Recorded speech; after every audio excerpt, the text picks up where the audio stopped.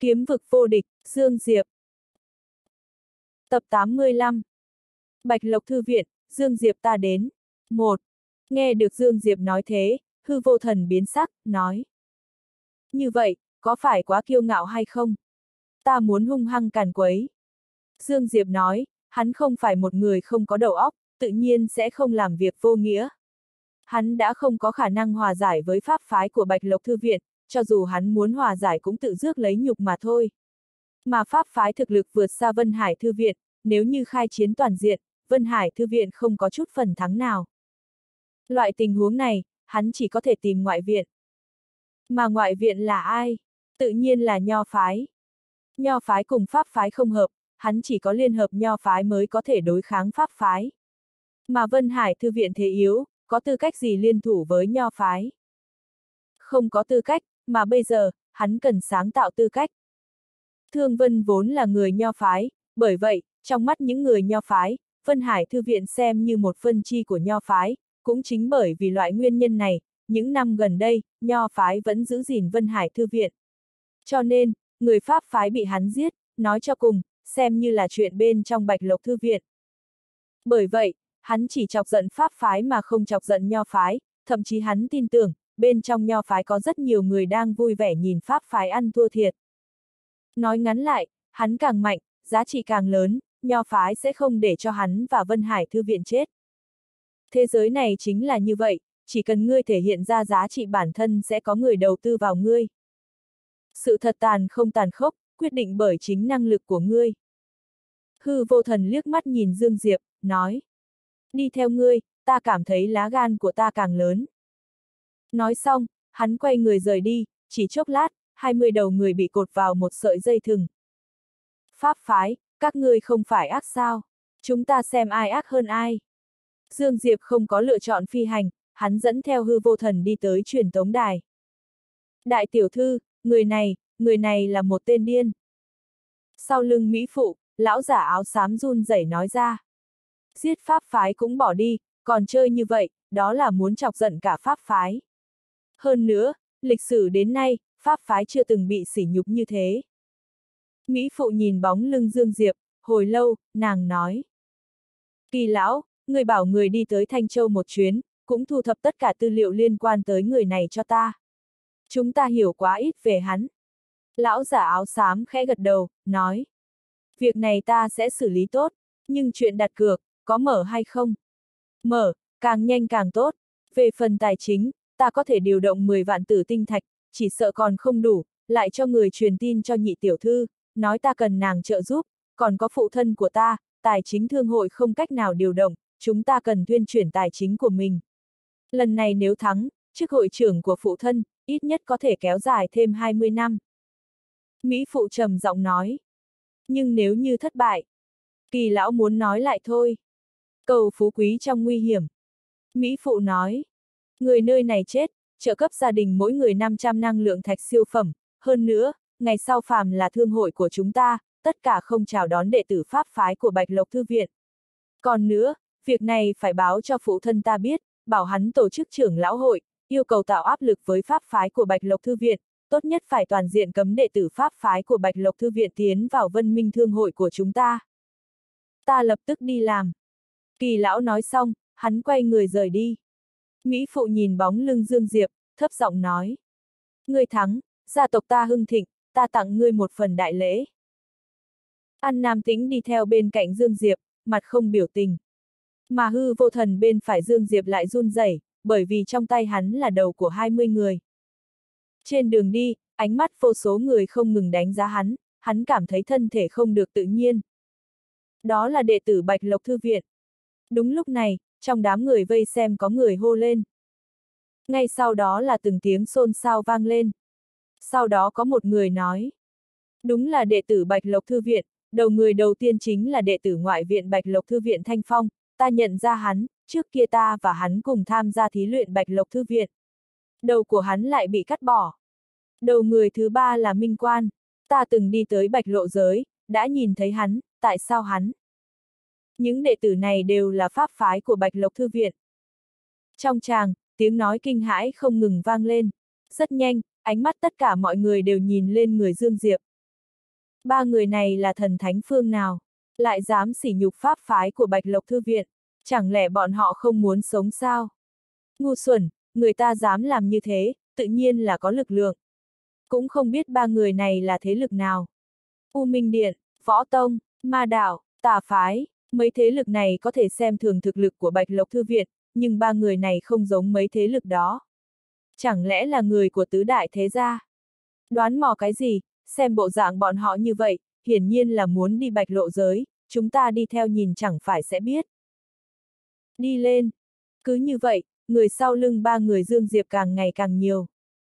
Rất nhanh, đám người Dương Diệp đi tới truyền tống đài, lúc này không có xảy ra vấn đề gì. Ba người tiến vào truyền tống trận, rất nhanh, truyền tống trận tuôn ra một đạo ánh sáng màu lam bao phủ ba người. Ngay sau đó ba người liên biến mất. Bạch lộ giới. Bạch lộ giới là thế giới độc lập do cường giả bạch lộ thư viện mở ra, thế giới này tương đương Thanh Châu, bên trong có vài tỷ nhân khẩu. Trừ số ít thế lực cấp kim cương ra, thế lực cấp kim cương đều mở thế giới độc lập, sau đó lại mang người vào ở. Mục đích và bồi dưỡng nhân tài. Bất cứ một thế lực nào đều cần nhân tài, chỉ cần nhân tài liên tục không ngừng, mới có thể cam đoạn một thế lực hưng thịnh, không đến mức xuống dốc.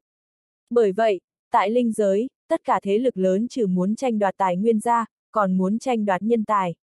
Mà nếu như đều tranh đoạt nhân tài tại Trung Thổ Thần Châu, không hề nghi ngờ, Trung Thổ Thần Châu nhất định sẽ đại loạn. Bởi vậy, rất nhiều thế lực cấp kim cương mở thế giới độc lập, sau đó bồi dưỡng nhân tài ở trong đó.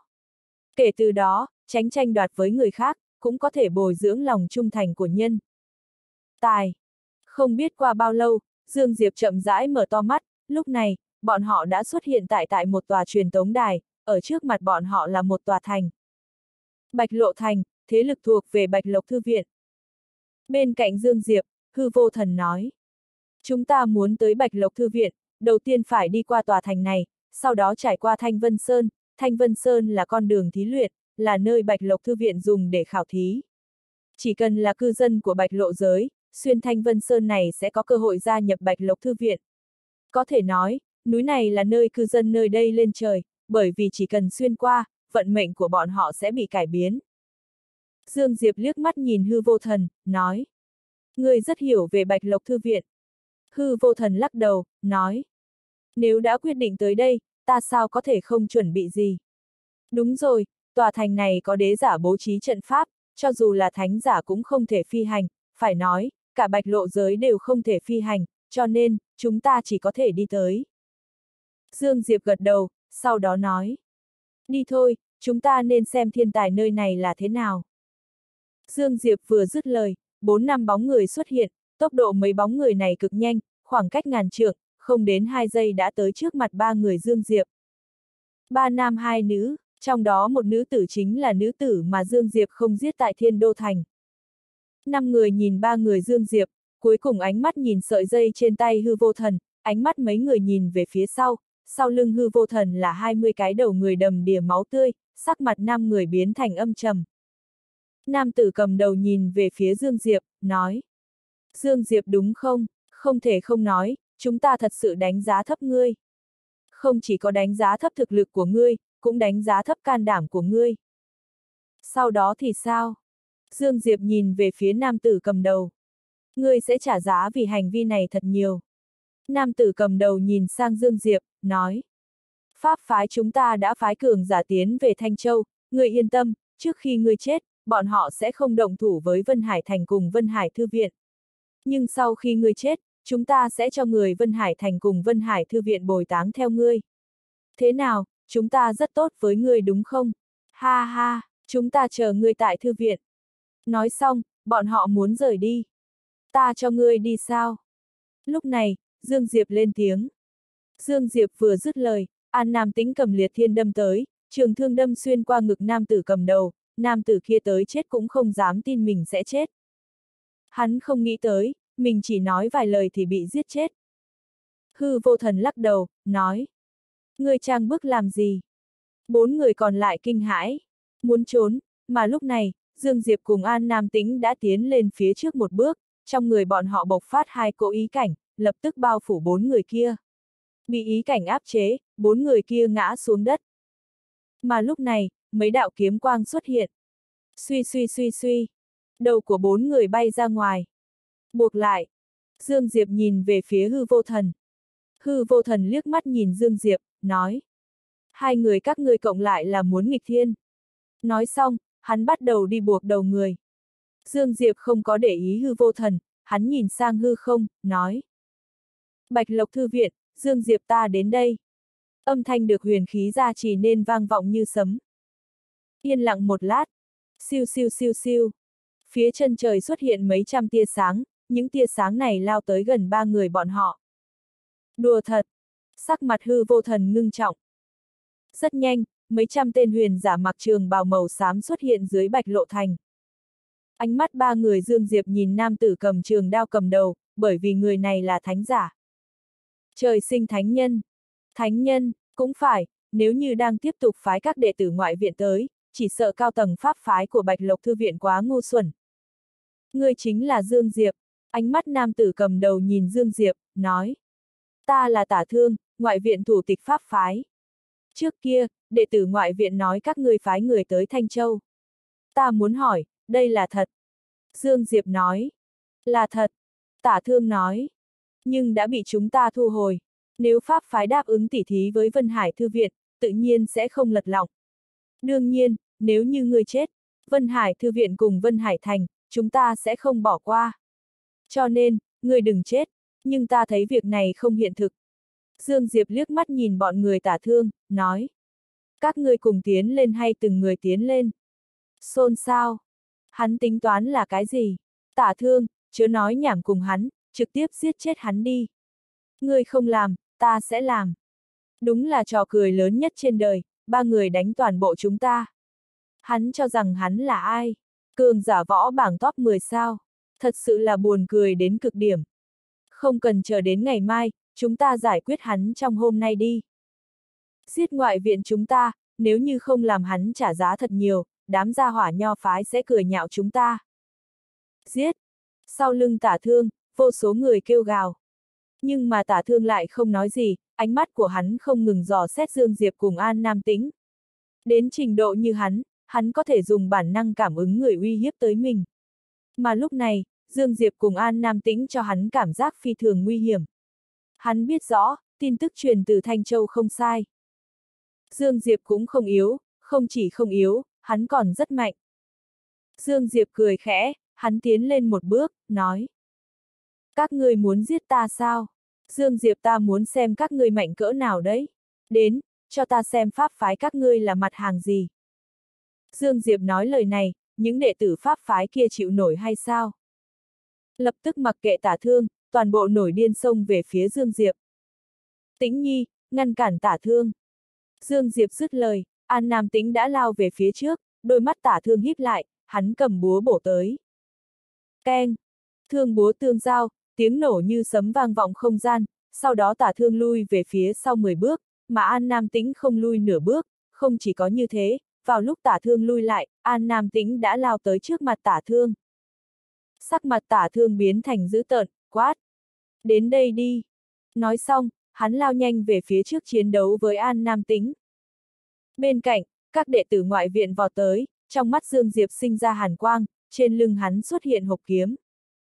Sau một khắc, ông, một tiếng kiếm minh xé rách thiên địa. Sau đó có hơn 3.000 đạo kiếm quang bay ra khỏi hộp kiếm của Dương Diệp, cũng chui vào trong mấy trăm người. Suy suy suy. Trong tràng, kiếm khí tràn ngập, vô số đạo kiếm quang quét qua không gian. Trong chốc lát, vô số tiếng kêu thảm thiết vang vọng khắp nơi. Nhưng vẫn có người lao ra khỏi sát trận, sau đó cùng lao về phía Dương Diệp. Bên cạnh Dương Diệp, tay phải của hư vô thần nắm chặt trường thương, sau đó hắn xông thẳng vào đám người kia. Dương Diệp không có để ý tới đối phương, hắn tiếp tục thao túng huyền kiếm chém giết. Không đến ba giây, đã có hơn trăm người chết đi. Dừng tay! Đúng lúc này, phía chân trời có tiếng giống giận dữ vang lên, một lão giả xuất hiện, lão giả vẫy tay một cái, huyền kiếm của Dương Diệp cứng lại và nổ tung.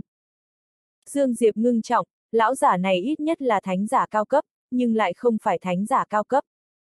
Lão giả lạnh lùng liếc mắt nhìn Dương Diệp, sau đó hắn vỗ một cái, An Nam Tĩnh đang giao thủ với tả thương biến sắc, liệt thiên sắp đâm thủng người tả thương lại ngăn cản phía bên phải của nàng. Bành! Một tiếng trầm đục vang lên, liệt thiên run lên kịch liệt, An Nam tĩnh lui nhanh về phía sau, nàng đã lui mấy trăm trượng.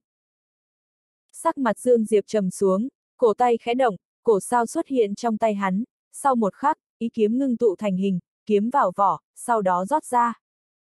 Ông! Một đạo kiếm khí bay ra khỏi vỏ. Audio điện tử võ tấn bền. 70 đạo trảm thiên bạt kiếm thuật điện ra. Nhìn thấy Dương Diệp rút kiếm, sắc mặt lão giả kia trầm xuống, lúc nhìn thấy kiếm khí, trong mắt của hắn sinh ra một tia kinh ngạc, nói. Đúng là có tài, nhưng không tự lượng sức. Âm thanh rơi xuống, lão giả tay phải hướng phía trước bắn ra, sau đó hắn lao nhanh về phía trước. Lập tức, kiếm quang của Dương Diệp vỡ vụn, nhưng dự uy cường đại ép lão giả lui lại vài chục bước. Lúc này, An Nam Tĩnh đột nhiên xuất hiện trước mặt lão giả kia, liệt thiên trong tay đâm nhanh, lão giả tức giận, nói. Cút! Vừa dứt lời, hắn xuất ra một trường. Bành! Liệt thiên trong tay An Nam Tĩnh run lên kịch liệt, An Nam Tĩnh bị đẩy lui hơn 10 trường, mà lòng bàn tay của lão giả kia vỡ ra một khe hở, máu tươi chảy ra ngoài. Muốn chết! Nhìn thấy chính mình bị tổn thương, sắc mặt lão giả đầy dữ tợn, hắn đang muốn ra tay, mà lúc này, hắn lại mở to mắt, bởi vì chẳng biết Dương Diệp xuất hiện sau lưng hắn từ lúc nào, một thanh kiếm đâm ngay gáy của hắn. Lão giả phản ứng không chậm, thân thể hơi nghiêng tránh thoát mũi kiếm, sau đó hắn lật tay vỗ vào bụng của Dương Diệp. Dương Diệp lui về phía sau 10 bước, sau một khắc, hắn lại lao tới, sau đó đổi thành kiếm trong tay thành man thần kiếm, hắn chém mạnh vào lão giả, uy lực của kiếm này phá vỡ không gian. Lão giả vô cùng khiếp sợ, thân thể Dương Diệp khủng bố như thế. Ngạnh kháng một trưởng của mình mà không có việc gì. Kinh thường trong mắt lão giả giảm đi vài phần, nhiều thêm mấy phần ngưng trọng. Không dám khinh thường, đôi tay hắn xoay tròn, sau đó hắn vỗ mạnh một cái. Sau đó hai đạo khí lãng đánh vào man thần kiếm của Dương Diệp. Oanh! Tiếng nổ lớn sinh ra, không gian vỡ nát, ngay sau đó tất cả khôi phục lại như thường. Mà lúc này, Dương Diệp và An Nam Tĩnh đã giao chiến với lão giả. Ba người chiến đấu tốc độ quá nhanh, nơi này trừ tả thương, cơ bản không ai có thể thấy rõ, bọn họ chỉ thấy mấy bóng dáng biến ảo không ngừng. Việc này ý nghĩa thế nào? Ý nghĩa thực lực hai người Dương Diệp vượt xa bọn họ. Ý nghĩa người ta đến Bạch Lộc Thư Viện không phải đi tìm cái chết, mà là thực sự có thực lực. Oanh! Xa xa, không gian sụp xuống, sau đó Dương Diệp cùng An Nam Tĩnh và lão giả kia tách ra. Lúc này, sắc mặt lão giả hung ác, trên người hắn có vết thương do thương, còn có kiếm thương. Hắn không nghĩ tới, chính mình lại bị hai bán thánh nho nhỏ gây thương tích. Hai người các ngươi đã muốn chết như vậy, ta sẽ thành toàn các ngươi. Lão giả gầm lên, lúc hắn muốn ra tay, mà lúc này, Dương Diệp rút kiếm, một đạo kiếm khí bay ra khỏi cổ sao phóng lên trời, sau đó chém vào người lão giả kia. 80 đạo trảm thiên bạt kiếm thuật, trảm thiên bạt kiếm thuật ra chỉ kiếm ý hư vô cảnh. Kiếm khí phá vỡ không gian, lão giả kia biến sắc, bởi vì uy lực của đạo kiếm khí này mạnh hơn lúc trước không biết bao nhiêu lần, hắn không dám khinh thường, hai tay của hắn hội tụ vô số linh khí, sau đó hắn xuất trưởng đánh vào kiếm khí của Dương Diệp. Oanh! Tiếng nổ lớn vang lên, cả đại địa và không gian giãn nứt. Lão giả kia lui lại cực nhanh, mà lúc này, Dương Diệp quỷ dị xuất hiện tại sau lưng lão giả, sau đó hắn xuất quyền đánh vào lưng lão giả. Phát giác nắm đấm sau lưng, đồng tử lão giả co rút tại, thân thể hắn hơi uốn éo, sau đó hắn xuất quyền ngăn cản Dương Diệp tấn công. Bành! Nắm đấm chạm vào nhau, lão giả bị đẩy tui lần nữa, mà lúc này, An Nam Tĩnh xuất hiện sau lưng hắn, liệt thiên lại đâm vào lưng lão giả.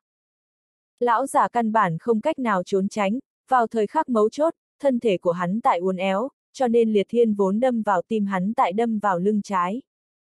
Bành! Lão giả bị liệt thiên đâm bay ra ngoài, mà lúc này, Dương Diệp đột nhiên xuất hiện trước mặt lão giả kia, sau đó hắn đạp một cước vào bụng lão giả. Phốc! Lão giả phun máu tươi, sau đó lão giả rơi xuống đất. Dương Diệp đáp xuống đất, thân hình khẽ động, hắn đi tới trước mặt lão giả, sau đó hắn lại đạp một cước vào đầu đối phương. Mà đúng lúc này, không gian phía chân trời vỡ ra, một tia sáng đánh vào ngực Dương Diệp. Bành! Dương Diệp lập tức bay ra ngoài. Sắc mặt An Nam tính biến hóa, thân hình khẽ động, nàng xuất hiện sau lưng Dương Diệp, nàng thò tay ngăn cản Dương Diệp, nhưng lực lượng cường đại vẫn đẩy bọn họ lui lại 10 trượng mới biến mất. Dương Diệp lau máu tươi trên khóe miệng, hắn ngẩng đầu nhìn không chung, giữ tợn nói. Như thế nào, thua không nổi sao? Tiếng nói được huyền khí gia trì, âm thanh như sấm vang vọng toàn bộ bạch lộ giới. Pháp phái ta tự nhiên thua được. Phía chân trời, một giọng nói vang lên. Thua được. Dương Diệp cười lớn. Ngươi cười cái gì? Giọng nói kia lại vang lên. Ta cười lời ngươi nói buồn cười. Dương Diệp nhìn lên trời, hắn quát. Pháp phái các ngươi thua nổi. Lời này của ngươi không phải rất buồn cười sao? Khi chúng ta tới Trung Thổ Thần Châu, Pháp phái các ngươi không ngừng phái người tới gây phiền toái cho chúng ta. Vốn tới ít, ít chết đi thì nhiều lại tới, sau đó là giả tới, giả không được sẽ có giả hơn. Đây chính là thua nổi đó sao? Mặt đâu, các ngươi còn muốn mặt không? Làm càn. Phía chân trời, tiếng quát như sấm làm cho người ta sợ hãi. Làm càn. Dương Diệp cười khẽ cười, nói. Pháp phái các ngươi có một đống lớn thánh giả cao cấp, Vân Hải Thư viện chúng ta không có cái gì, chúng ta đắc tội không nổi. Nếu không như vậy đi, tỉ thí lần này cũng đừng so nữa. Vân Hải Thư viện chúng ta trực tiếp nhận thua được không? Tính toán pháp phái các ngươi thắng, thực, tính toán các ngươi thắng, chúng ta đừng lãng phí thời gian, như thế nào? Nghe được Dương Diệp nói thế, sắc mặt đệ tử pháp phái rất khó nhìn. Sắc mặt giáo tập ngoại viện cũng khó coi. Trước kia, nếu như không phải cường giả trong thư viện ra tay, hắn suýt nữa đã chết. Hắn mất mặt trước nhiều đệ tử ngoại viện như vậy, đây là sỉ nhục lớn nhất đời hắn. Trọng yếu nhất là, sau ngày hôm nay, hắn đừng làm giáo tập ngoại viện nữa. Hồi lâu, phía chân trời lại có tiếng nói vang lên. Pháp phái ta tự nhiên thua nổi, hình như ngươi quên, ngươi tỉ thí cùng chúng ta khi nào.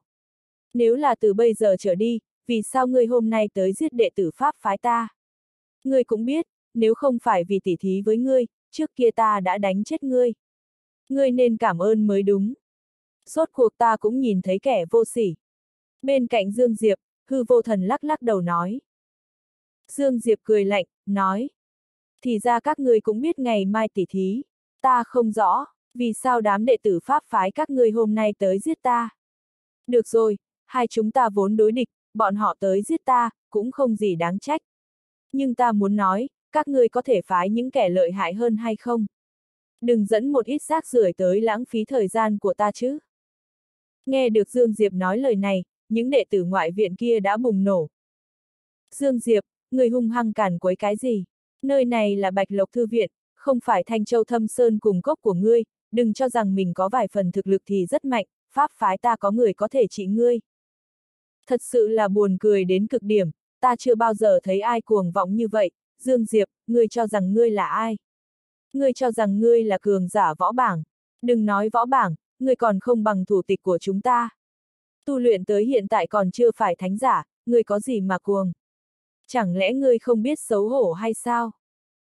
Dương Diệp cười khẽ, hắn nhìn sang đám đệ tử ngoại viện, nói. Các ngươi không phải rác rưởi, đi ra đánh một trận chứ.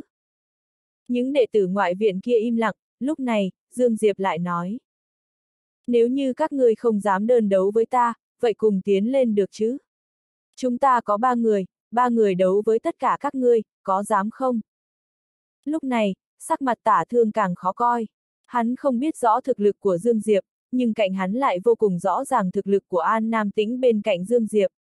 Tuy hắn cao hơn An Nam Tĩnh một giai, nhưng hắn không có nắm chắc đánh thắng An Nam Tĩnh. Vừa rồi chỉ giao thủ một hồi, nhưng hắn phi thường rõ ràng sự khủng bố của An Nam Tĩnh. Một khi hắn bị kiềm chế, ngoại viện không có ai chống lại Dương Diệp, khi đó sẽ bị tàn sát sạch sẽ. Nếu lúc trước không có giáo tập ra tay, chỉ sợ ngoại viện đã không còn. Như thế nào, không nói gì. Dương Diệp nhìn người ngoại viện, nói.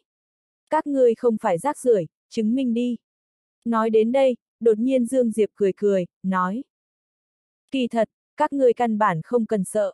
Bởi vì cho dù các ngươi là rác rưởi, sau lưng các ngươi còn có giáo tập, còn có trưởng lão lợi hại hơn cả giáo tập, có bọn họ, các ngươi còn có thể chết sao? Sẽ không, có bọn họ, các ngươi sẽ không có chút việc gì, đúng không? Bị người ta sỉ nhục ngay tại mặt như thế, chỉ cần là người có chút huyết tính sẽ nhịn không được. Lúc này có đệ tử giận dữ hét lớn. Con mẹ nó, ta liều với ngươi. Nói xong, hắn lao về phía Dương Diệp. Trong mắt Dương Diệp bắn ra hàn mang, thân hình khẽ động, hắn biến mất tại chỗ. Phanh! Một bóng người bay về phía sau. Người này không phải đệ tử ngoại viện, mà là Dương Diệp. Dương Diệp lui gần trăm bước mới dừng lại, trước ngực hắn xuất hiện dấu trưởng ấn. An Nam Tĩnh xuất hiện bên cạnh Dương Diệp, trong mắt nàng bắn ra sát ý không chút che giấu. Lão phu nhìn không được. Đúng lúc này, một lão giả mặc ma bào mang giày rơm xuất hiện. Lão giả nhìn về phía chân trời nói.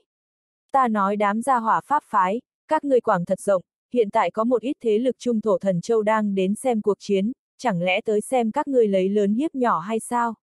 Đương nhiên, chuyện này không liên quan tới ta, nếu như các người bảo ta tới đây xem lấy lớn hiếp nhỏ lão phu sẽ trở về. Phía chân trời im lặng nửa ngày, giọng nói kia lại vang lên. Tất cả đệ tử ngoại viện trở lại thư viện, không có mệnh lệnh của thư viện, không cho phép kẻ nào rời khỏi thư viện. Dương Diệp, pháp phái ta sẽ không lấy lớn hiếp nhỏ, từ nay trở đi, chỉ cần ngươi có bản lĩnh, ngươi cứ việc giết. Nhưng ngươi yên tâm, ngươi khẳng định không có cơ hội đó. Chúng ta đi. Tả thương liếc mắt nhìn ba người Dương Diệp, sau đó hắn xoay người rời đi. Đám đệ tử ngoại viện sau lưng hắn cũng rời đi. Đa tạ tiền bối. Dương Diệp nhìn về phía lão giả, hắn ôm quyền, nói. Lão giả ma bảo dò xét Dương Diệp cùng An Nam Tĩnh, cuối cùng nói. Không thể không nói, khó có thể tưởng tượng các ngươi lại đến từ Thanh Châu. Hai người các ngươi không tệ. Nói đến đây, đột nhiên hắn lại nhìn về phía hư vô thần, hắn nhìn hư vô thần một lúc, hắn lại nói. Ngươi cũng không tệ. Hư vô thần liếc mắt nhìn lão giả, không nói gì. Lúc này, lão giả lại nói. Đáng tiếc, mạng các ngươi không dài. Chỉ giáo cho. Dương Diệp cau mày nói. Lão giả nhìn Dương Diệp, nói. Pháp phái phái người mới vô số người đến đây xem lễ, mục đích là cái gì?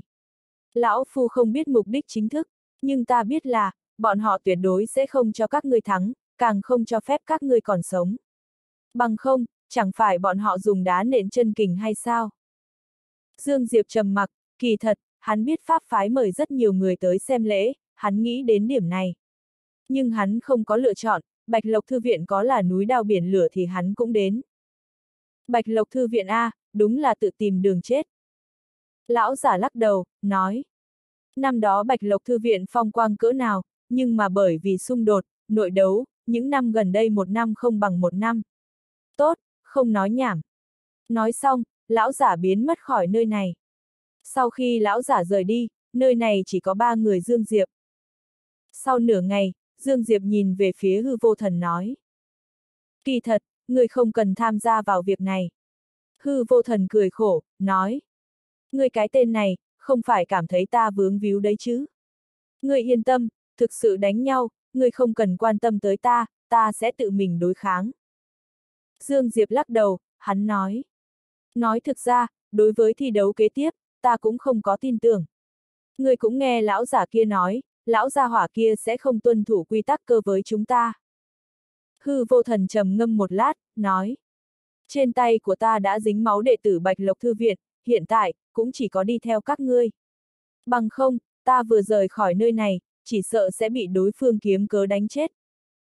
Dương Diệp nhìn hư vô thần nửa ngày, nói.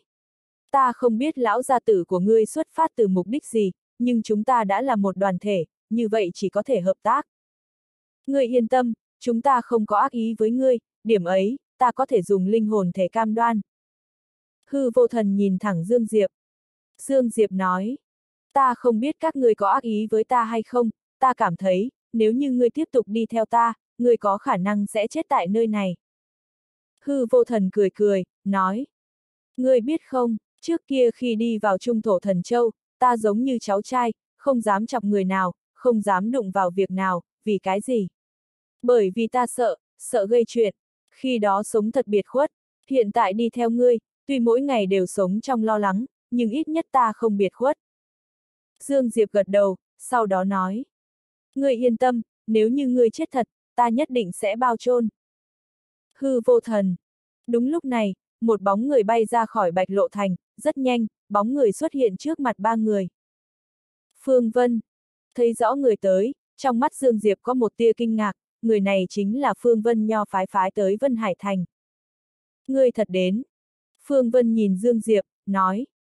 Bằng không thì sao? Dương Diệp nói. Phương Vân nhìn Dương Diệp thật sâu, sau đó nói. Đi thôi, cùng ta vào thành. Dương Diệp gật đầu, mang theo An Nam Tĩnh cùng hư vô thần đi theo Phương Vân tiến vào Bạch Lộ Thành.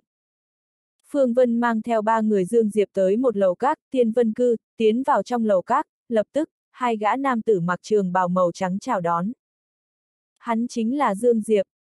Một nam tử hỏi. Phương Vân gật đầu, nói. Đêm nay mọi người cũng đừng ngủ, đều trông coi. Hai người liếc mắt nhìn Dương Diệp, sau đó gật đầu, đi ra ngoài. Dương Diệp phát hiện, chung quanh lầu các có hơn trăm người, hơn nữa khí tức đều cực kỳ hùng hậu, rõ ràng không phải kẻ yếu. Phương Vân quay người nhìn Dương Diệp, nói. Hai ngày này, người an tâm dưỡng thương, không có người nào tới quấy rầy ngươi. Nói xong, hắn quay người rời đi. Người thiên vũ tông đang ở trong tòa thành này hay ở tại Bạch Lộc Thư Viện? Dương Diệp hỏi. Phương Vân dừng bước lại, nói. Hương tạ lâu phía nam tòa thành, người quen các nàng. Dương Diệp gật đầu. Phương Vân liếc mắt nhìn Dương Diệp, nhưng sau đó xoay người rời đi. Bạch Lộc Thư Viện rất không đúng, khẳng định đã xảy ra đại sự gì đó. Hư vô thần trầm giọng nói. Dương Diệp gật đầu, hắn cũng cảm giác được hào khí có chút không đúng. Sau nửa ngày, hắn lắc đầu, nói. Mặc kệ những việc này, hảo hảo tính dưỡng đi, ngày sau còn đánh một trận ác chiến đấy. An Nam tính ả à hư vô thần gật đầu.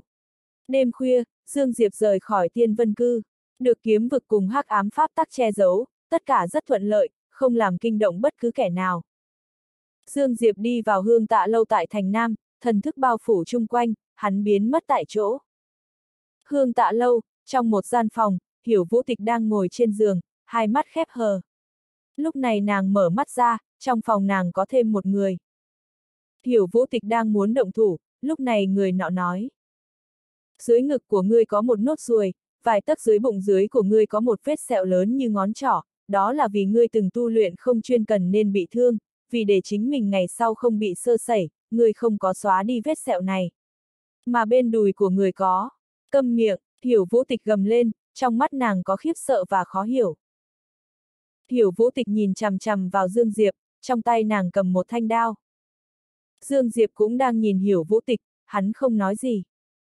Hai người đối mặt một lát, hiểu vũ tịch trầm giọng nói. Ngươi là ai? Ngươi là thê tử của ta, ngươi nói ta là ai? Dương Diệp nói. Ngươi muốn chết phải không? Hiểu vũ tịch cầm chặt chuôi đao. Dương Diệp hít sâu một hơi, đi đến trước mặt hiểu vũ tịch, nói. Ngươi còn nhớ rõ chuyện quá khứ hay không? Hiểu vũ tịch nhìn Dương Diệp hồi lâu, sau đó nói. Không nhớ rõ. Trong mắt Dương Diệp sinh ra một tia thống khổ, nói. Trên người của ngươi khẳng định phát sinh chuyện gì? Vũ tịch, thật có lỗi, lúc trước ta không nên để các ngươi rời đi. Xíu, yêu yêu. Lúc này, đao trong tay hiểu vũ tịch ra khỏi vỏ, yết hầu Dương Diệp đã có thanh đao đặt ngang. Hiểu vũ tịch lạnh lùng nhìn Dương Diệp, nói. Ta nói một lần, ta không biết ngươi. Vậy ngươi nói một chút, vì sao ta biết những từ mật trên người của ngươi? Dương Diệp nhìn thẳng hiểu vũ tịch. Đây cũng là việc ta muốn biết. Trong mắt hiểu vũ tịch có sát ý.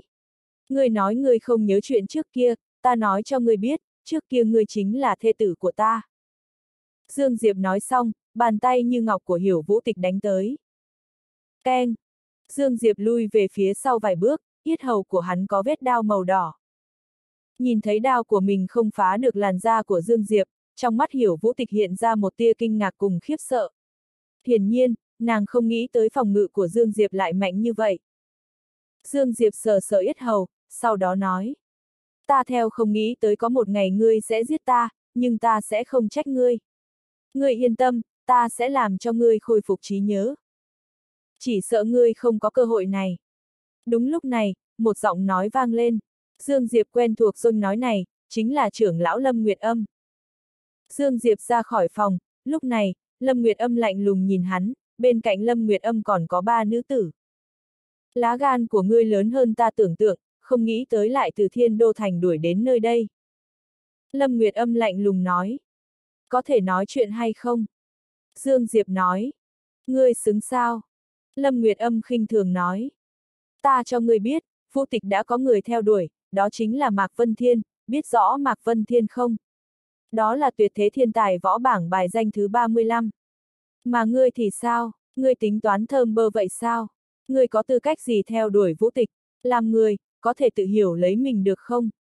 Dương Diệp nói. Thật cao hứng người giữ gìn vũ tịch như thế, nhưng đây là chuyện của ta và vũ tịch, có thể do ta và nàng xử lý hay không? Chuyện của vũ tịch là chuyện của thiên vũ tông.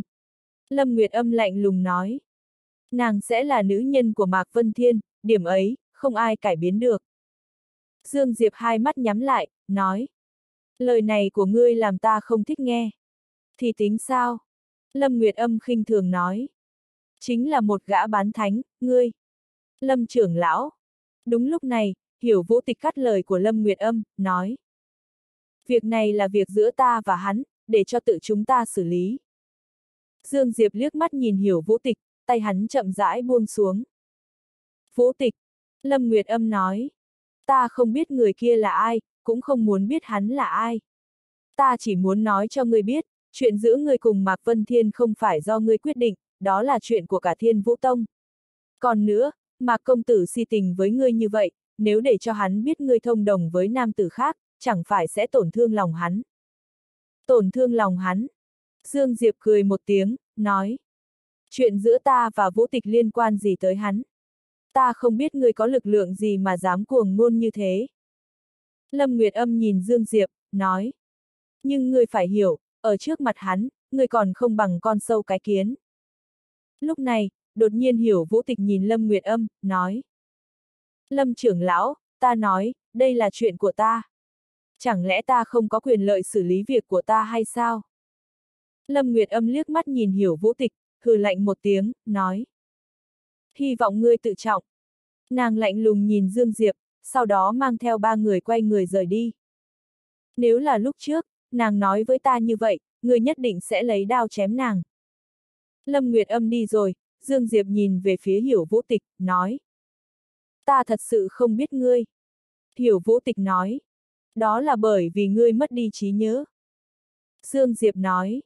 Chờ ta xử lý xong việc tại Bạch Lộc Thư Viện, ta sẽ nghĩ biện pháp khôi phục trí nhớ cho ngươi. Còn nữa, người ở trong thiên vũ tông cũng không tốt lắm. Đây là chuyện của ta. Hiểu vũ tịch nói.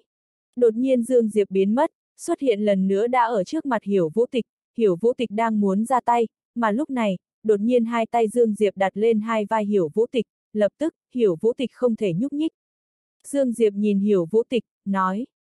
Vũ tịch, người nhớ kỹ, chuyện của ngươi là chuyện của ta. Ta biết rõ, hiện tại ta nói thì ngươi cũng không biết có ý nghĩa gì. Nhưng người phải nhớ kỹ, mặc kệ lúc nào, ta cũng là hậu thuẫn của ngươi. Nói xong, Dương Diệp buông vai hiểu vũ tịch ra, hắn biến mất tại chỗ. Sau khi rời khỏi hương tạ lâu, Dương Diệp còn chưa đi bao lâu, đột nhiên, một người ngăn cản ở trước mặt hắn. Người này không phải người khác, chính là Lâm Nguyệt Âm. Tại thiên đô thành ta nên giết ngươi. Lâm Nguyệt Âm lạnh lùng nói. Dương Diệp liếc mắt nhìn Lâm Nguyệt Âm, không để ý tới đối phương, trực tiếp vượt qua đối phương, mà lúc này, Lâm Nguyệt Âm đã ngăn cản trước mặt hắn, nói. Không nên. Lâm Nguyệt Âm im lặng, bởi vì Dương Diệp đột nhiên xuất hiện ở trước mặt nàng, sắc mặt Lâm Nguyệt Âm biến hóa, đang muốn ra tay, lúc này, một cổ ý cảnh kinh khủng đột nhiên ép lên người nàng, làm cho thân thể Lâm Nguyệt Âm cứng đờ, một bàn tay đã tát vào má phải của nàng. 3. Tiếng tát thanh thúy vang vọng đêm đen. Sau đó Lâm Nguyệt Âm trực tiếp bay ra ngoài. Nhưng vừa mới bay ra xa, Dương Diệp lại xuất hiện ở trước mặt nàng lần nữa, sau đó lại tát vào mặt của Lâm Nguyệt Âm lần nữa. 3. Lâm Nguyệt Âm lại bay đi, sau khi bay khoảng trăm trượng, Lâm Nguyệt Âm dừng lại, nhưng nàng vừa dừng lại, Dương Diệp vẫn xuất hiện trước mặt nàng, lúc này đây, Lâm Nguyệt Âm không còn giật mình nữa. Dương Diệp mới xuất hiện ở trước mặt nàng, nàng đã xuất trưởng tấn công Dương Diệp. Dương Diệp lại không có ý né tránh, tùy ý cho nàng đánh vào trước ngực. Phanh! Lâm Nguyệt âm đánh vào ngực Dương Diệp, tay nàng run lên, mà Dương Diệp lại không chút sức mẻ. Lâm Nguyệt âm giật mình, tuy nàng vội vàng ra tay, không có phát huy ra thực lực chân tránh, nhưng cũng không thể không gây ra tổn thương. Thân thể ra hỏa trước mắt là long sao. Vào thời điểm Lâm Nguyệt âm ngây người, Dương Diệp đã nâng tay phải lên tát vào mặt nàng. Phốc! Lâm Nguyệt âm phun ra một ngụm máu, sau đó bay ra ngoài, cuối cùng cũng nện lên mặt đất. Nàng vừa đứng lên, Dương Diệp lại xuất hiện ở trước mặt nàng, sau đó đạp vào bụng nàng. Lúc này Lâm Nguyệt âm phun ra một ngụm máu. Lâm Nguyệt âm kinh hãi nhìn Dương Diệp, chính mình đường đường thánh giả, lại bị một gã bán thánh hành hạ. Dương Diệp nhìn Lâm Nguyệt âm, tay phải nâng lên, Lâm Nguyệt âm biến sắc, đầu hơi nghiêng, nhưng sau một lát, bàn tay của Dương Diệp lại không đánh xuống. Sau nửa ngày, nàng quay đầu nhìn về phía Dương Diệp, cả giận nói. Người đùa bỡn ta. Ba. Dương Diệp tát vào mặt Lâm Nguyệt âm, nói. Không đánh ngươi, ngươi nói ta đùa giỡn ngươi, đã như vậy, ta chỉ có thể đánh ngươi, tránh ngươi nói ta đùa giỡn. Phốc. Lâm Nguyệt âm phun máu tươi, lúc này, không biết nàng tức hay bị tổn thương. Dương Diệp nhìn Lâm Nguyệt âm, nói. Nữ nhân, trước kia ta muốn nói chuyện với ngươi, nhưng hình như ngươi cũng chẳng phải cam tâm tình nguyện. Hiện tại, ta muốn nói chuyện, có thể chứ? Lâm Nguyệt âm nhìn chằm chằm vào Dương Diệp, không nói gì. Có thể chứ? Đột nhiên Dương Diệp gầm lên giận dữ, thân thể Lâm Nguyệt âm lập tức run rẩy, nhìn gương mặt hung ác của Dương Diệp, Lâm Nguyệt âm hơi gật đầu theo bản năng. Như vậy không phải tốt hơn sao? Dương Diệp nói. Ta muốn nói với ngươi, ngươi không muốn, không nên ép ta dùng phương thức này với ngươi. Được rồi, chỉ cần ngươi ưa thích là tốt rồi. Hiện tại, ta hỏi mấy vấn đề, ta hy vọng ngươi trả lời ta trung thực. Nếu như ngươi dám gạt ta, ta sẽ lột sạch quần áo của ngươi, cũng trói ngươi lên cửa thành, ân, ta sẽ cho ngươi còn sống, nhưng ngươi khi đó sẽ muốn chết. Sắc mặt của Lâm Nguyệt âm thay đổi, trong mắt còn có hoảng sợ. Dương Diệp nói, hiểu vũ tịch tới thiên vũ tông như thế nào? Lâm Nguyệt âm trần chờ, sau đó nói, là Đinh Lâm sư thúc mang nàng đến. Về phần khác, ta không biết. Vì sao nàng mất trí nhớ, người cũng biết không? Dương Diệp lại hỏi. Lâm Nguyệt âm lắc đầu, nói. Đinh Lâm sư thúc biết, người về sau có thể đi hỏi nàng. Dương Diệp trầm mặc, có lẽ Lâm Nguyệt âm không biết gì, cũng không có gan nói dối. Đinh Lâm, Dương Diệp híp mắt lại, nếu muốn biết vì sao hiểu vũ tịch lại mất đi trí nhớ, chỉ có thể đi tìm Đinh Lâm này. Dương Diệp cúi đầu nhìn về phía Lâm Nguyệt Âm, nói. Về sau, chuyện của vũ tịch do nàng xử lý, người ít xen vào việc của người khác, có thể làm được không? Lâm Nguyệt Âm nhìn Dương Diệp, không nói gì. Có nghe hay không? Dương Diệp quát lớn, Lâm Nguyệt Âm vội vàng gật đầu. Dương Diệp vỗ vỗ đôi má sưng đỏ của Lâm Nguyệt Âm, sau đó quay đầu nhìn sang một bên, nói. Ta cho ngươi mặt mũi. Nói xong, Dương Diệp buông Lâm Nguyệt Âm ra, sau đó xoay người rời đi. Giết Lâm Nguyệt Âm, tình cảnh của Hiểu Vũ Tịch khẳng định đáng lo, mà hắn hiện tại cấp bách nhất phải xử lý chuyện Bạch Lộc Thư Viện. Dương Diệp đi rồi, Hiểu Vũ Tịch xuất hiện trước mặt Lâm Nguyệt Âm, Hiểu Vũ Tịch liếc mắt nhìn Lâm Nguyệt Âm, sau đó xoay người rời đi. Lâm Nguyệt Âm vươn tay sờ đôi má của mình, sắc mặt dữ tợn, trong mắt tràn đầy vẻ oán độc. Không cần biết ngươi là ai, ta tất. Mà đúng lúc này, Dương Diệp đột nhiên lại xuất hiện ở trước mặt nàng, nhìn Lâm Nguyệt Âm, Dương Diệp nói. Ngươi tất như thế nào? Lâm Nguyệt Âm. Lâm Nguyệt Âm lúc này rất biệt khuất. Hiểu Vũ Tịch chuẩn bị rời đi lại dừng lại, sau đó xoay người nhìn Dương Diệp. Dương Diệp vươn tay vỗ lên má trái của Lâm Nguyệt Âm, cười nói. Kỳ thật người muốn báo thù ta, việc này rất bình thường, cho dù là ta thì ta sẽ làm như vậy. Ân, đừng nhìn ta như thế, người không biết người còn tưởng rằng ta đang khi dễ người đấy. Lúc này, thân thể Lâm Nguyệt Âm khẽ run rẩy, sắc mặt trắng bệch, tăng thêm gò má xương vù rất đáng thương. Dương Diệp nhìn Lâm Nguyệt Âm lắc đầu, nói. Trước kia, thánh giả trong mắt ta là tồn tại cao cao tại thượng, nhưng sau khi ta có đủ thực lực, ta phát hiện, kỳ thật bọn họ không khác gì người bình thường, đều có hỉ nộ ái ố, cũng đều sợ chết. Đến lúc này, Dương Diệp quay đầu nhìn về phía hiểu vũ tịch, nói. Ta giết nàng, người có bị ảnh hưởng hay không? Sẽ. Hiểu vũ tịch trả lời không chút do dự. Nếu là lúc trước, người sẽ nói không? Dương Diệp nói xong, hắn quay người rời đi, đi hai bước, hắn lại nhìn sang Lâm Nguyệt Âm, nói. Nếu để cho ta biết rõ ngươi lại can thiệp tự do của vũ tịch, ta nhất định sẽ lột sạch ngươi treo lên thiên đô thành, ân, ta sẽ cho ngươi sống sót. Dương Diệp lại nhìn lên không trung, khóe miệng còn nở nụ cười, sau đó hắn biến mất trong bóng tối. Hắn là ai? Dương Diệp đi rồi, Lâm Nguyệt âm nhìn về phía hiểu vũ tịch. Nàng không ngu xuẩn, dùng thực lực bán thánh có thể đánh nàng không có lực hoàn thủ, loại người này tuyệt đối không thể nào là người bình thường. Không biết. Hiểu vũ tịch liếc mắt nhìn Lâm Nguyệt âm, nói. Người tốt nhất không nên chọc hắn, bởi vì ta cảm thấy, hắn không nói đùa. Hiểu vũ tịch quay người rời đi. Tại chỗ, Lâm Nguyệt âm siết chặt nắm đấm, hai mắt khép hờ, không biết đang suy nghĩ gì. Dương Diệp trở lại thiên vân cư. Kỳ thật nếu như có thể, hắn muốn trực tiếp giải quyết Lâm Nguyệt âm, bởi vì dùng đầu ngón chân nghĩ cũng biết nữ nhân kia ngày sau sẽ trả thù. Nhưng nếu như vừa rồi giết Lâm Nguyệt âm, hiểu vũ tịch tất nhiên sẽ có phiền toái, bởi vì lúc trước nhìn thấy hắn ở cùng một chỗ với hiểu vũ tịch không chỉ có Lâm Nguyệt âm. Hơn nữa, Bạch Lộc Thư Viện cũng không cho hắn giết. Trước kia hắn không có sát ý, đó là vì hắn biết có người ẩn nấp khí tức đang ở bên cạnh, hắn không có quản, bởi vì đối phương không có ác ý. Nhưng hắn biết rõ, nếu như hắn động thủ giết người, đối phương nhất định sẽ nhúng tay. Nơi này tốt xấu gì cũng là địa bàn của Bạch Lộc Thư Viện, nếu như người Thiên Vũ Tông chết ở chỗ này, Bạch Lộc Thư Viện đặt mặt mũi ở đâu? Đương nhiên, nếu hắn thật muốn giết, loại tình huống lúc ấy, cường giả Bạch Lộc Thư Viện khẳng định không cách nào ngăn cản hắn, nhưng không cần làm thế. Bởi vì người ta không có ác ý, hiển nhiên là nho phái. Nếu vì Lâm Nguyệt Âm mà trở mặt với nho phái thì quá ngu xuẩn. Dù sao, muốn giết Lâm Nguyệt Âm, đối với hắn đến, tùy thời đều có thể. Ngồi lên giường, Dương Diệp thở nhẹ một hơi, sau đó hắn nhớ lại những chuyện xảy ra.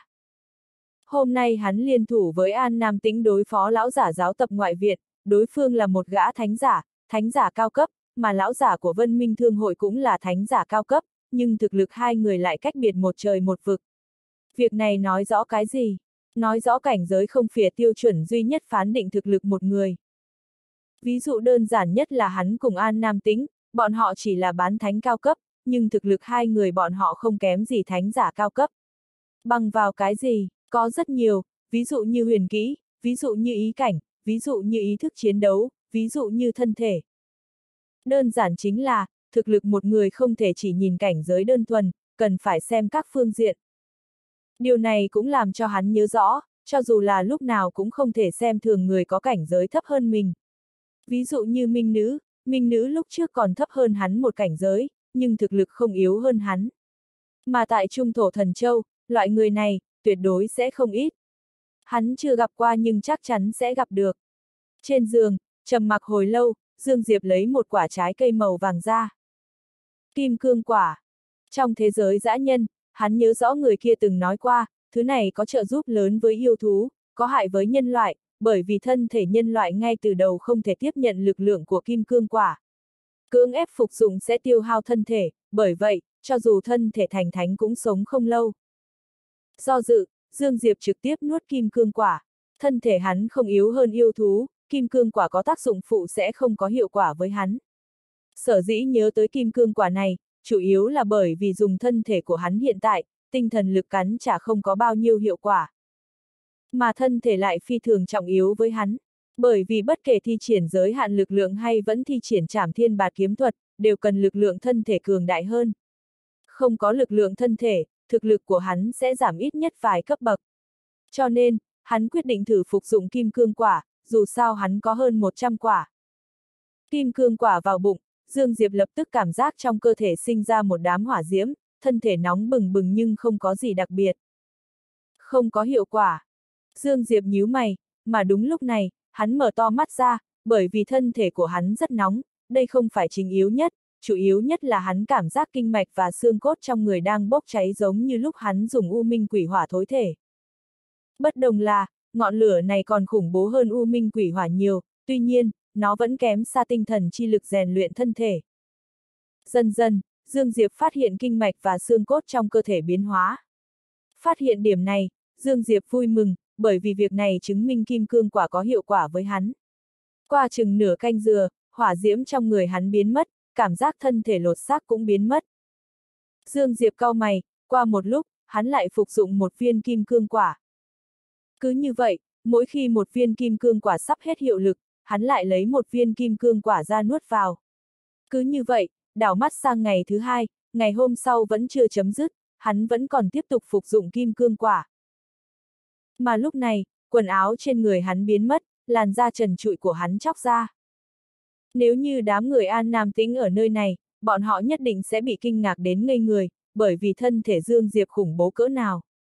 Đừng nói chóc ra, cho dù một tên thánh giả cầm một thanh đao thần giai thượng phẩm cắt cũng chưa chắc cắt được làn da của hắn. Qua ba canh giờ sau, một nửa làn da trên người Dương Diệp đã cởi sạch, trên làn da hắn có một tầng màu vàng mỏng bao phủ. Thời gian trôi qua, làn da nửa người dưới của Dương Diệp bắt đầu lột ra, hắn vẫn chưa đình chỉ phục dụng kim cương quả.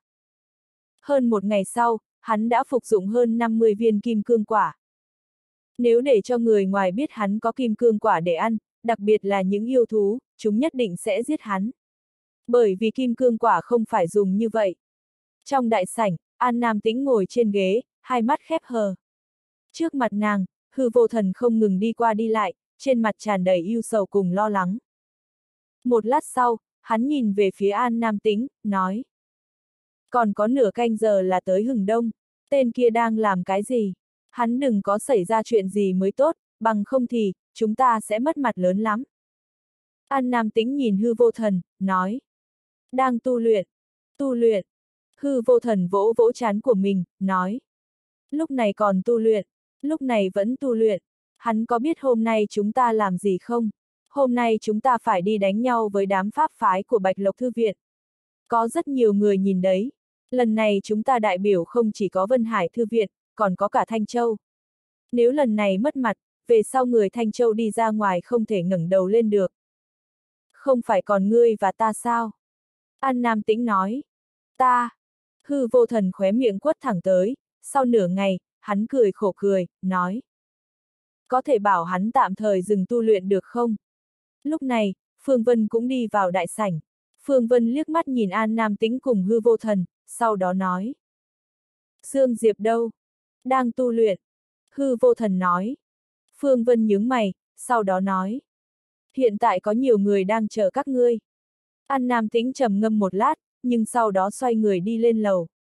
Rất nhanh, nàng đi vào gian phòng Dương Diệp. Lúc này, nửa người dưới Dương Diệp vẫn còn lột ra, chỉ còn lại hai chân. Nhìn Dương Diệp hồi lâu, An Nam Tĩnh quay người rời đi, rất nhanh, nàng đến đại sảnh. Dương Diệp đâu? Hư vô thần hỏi. Cổ tay An Nam khẽ nhúc nhích, liệt thiên xuất hiện trong tay nàng, sau đó nàng đi ra ngoài. Hư vô thần sững sờ, liền hỏi. Người đi đâu? Bạch Lộc Thư Viện. An Nam Tĩnh nói. Hư vô thần biến sắc, ngăn cản An Nam Tĩnh, nói. Người muốn tự mình đi. Dương Diệp đâu? Hắn sẽ tới nhanh thôi. An Nam Tĩnh nói xong liền vượt qua hư vô thần, cũng đi ra ngoài. Hư vô thần đứng do dự hồi lâu, sau đó hít sâu một hơi, đuổi kịp An Nam Tĩnh. Mà An Nam Tĩnh lại nhìn hắn, nói. Ngươi đừng đến. Ta không sợ chết. Hư vô thần nói. Ta sợ ngươi cản trở. An Nam Tĩnh lập tức biến mất. Hư vô thần. Bạch Lộc Thư Viện. Bạch Lộc Thư Viện nằm trên ngọn núi cao vút trong mây, từ dưới chân núi nhìn lên, mây mù lượn lờ, mơ hồ có thể thấy được lầu cát ở biên giới ngọn núi có thác nước đổ xuống như chân long gầm thét, giống như ngân hà chảy xuống cửu thiên, cực kỳ đồ sộ. Ở giữa ngọn núi có một cầu thang dài thẳng tắp, dài mấy vạn trường từ chân núi lên tới đỉnh núi. Bậc thang này tên là Thanh Vân Thê. Chân núi, Phương Vân bên cạnh An Nam Tĩnh nói. Đây là cửa khẩu cuối cùng, cũng là khảo thí cuối cùng của thư viện với cư dân bạch lộ giới. Leo lên bậc thang này, từ nay về sau một bước lên mây.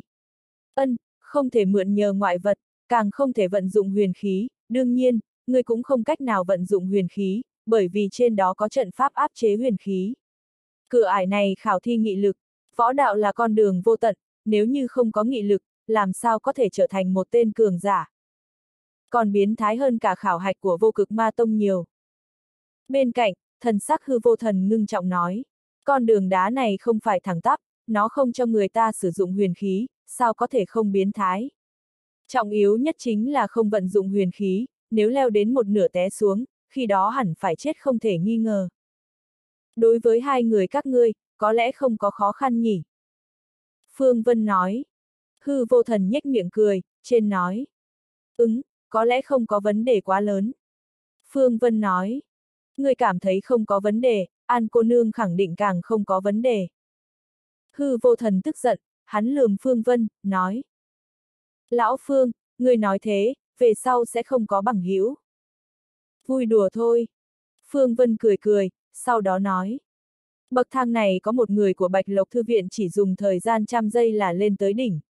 Trăm giây, đó là thành tích tốt nhất của Thư Viện từ xưa tới nay. Trăm giây. Hư vô thần trợn mắt, nói. Ngươi, ngươi không phải đang nói đùa chứ? An Nam Tính cũng nhìn về phía Phương Vân, trong mắt mang theo một tia khiếp sợ. Trăm giây, đó là khái niệm gì? Có ý nghĩa đối phương xem đây là đất bằng. Phương Vân nhìn hư vô thần, nói. Ngươi cảm thấy ta sẽ nói đùa với ngươi sao? Hư vô thần nghiêm trọng, nói. Đó là người nho phái hay pháp phái? Nho phái. Phương Vân nói, hư vô thần lập tức thở ra một hơi, mà lúc này, Phương Vân lại nói. Người thứ hai là 109 giây, mà hắn là người pháp phái. Đáng giá để nói chính là, tên thứ hai chính là đệ nhất cường giả trong thế hệ trẻ của pháp phái. Chờ lát nữa các ngươi sẽ gặp hắn, đương nhiên, điều kiện tiên quyết là các ngươi đầy đủ mạnh mới có tư cách nhìn thấy hắn, bằng không hắn sẽ không quan tâm tới các ngươi. Vẻ mặt của hư vô thần cứng đờ, hắn đang muốn nói gì đó, lúc này An Nam Tĩnh lại đi về hướng bậc thang. Nhìn thấy An Nam Tĩnh đi sang, sắc mặt của Phương Vân ngưng trọng. Sau khi An Nam Tĩnh đạp vào bậc thang đầu tiên, bậc thang như sống lại, nàng khẽ run lên, sau đó xuất hiện chữ một. Bắt đầu. Đôi tay Phương Vân chậm rãi nắm chặt. Trên núi, trước một tòa lầu các, đó là quảng trường to lớn dài mấy vạn trượng. Trên quảng trường có võ đài, võ đài rộng gần ngàn trượng. Phía sau võ đài có hai nhóm người không đứng chung với nhau, bên trái mặc trường bào màu trắng, mà bên phải mặc áo bào xám. Trên bệ đá bên phải có người do Pháp phái Vân Hải Thư viện mời tới xem lễ. Khi nhìn thấy phía chân trời có chữ, một có người nói. Có người trèo lên bậc thang. Ánh mắt mọi người nhìn sang bậc thang. Trên đài xem lễ, một lão giả áo đen nói với lão giả mặc ma bào. Không nghĩ tới võ tông các ngươi cũng tới, thật sự là không nghĩ tới. Ta cũng không nghĩ tới ma tông các ngươi cũng tới. Lão giả ma bào nói. Lão giả áo đen nhìn đám người nho phái và pháp phái của Bạch Lộc Thư Viện, sau đó nói. Lần này ỷ thí là giả, sắp nội loạn mới là thật.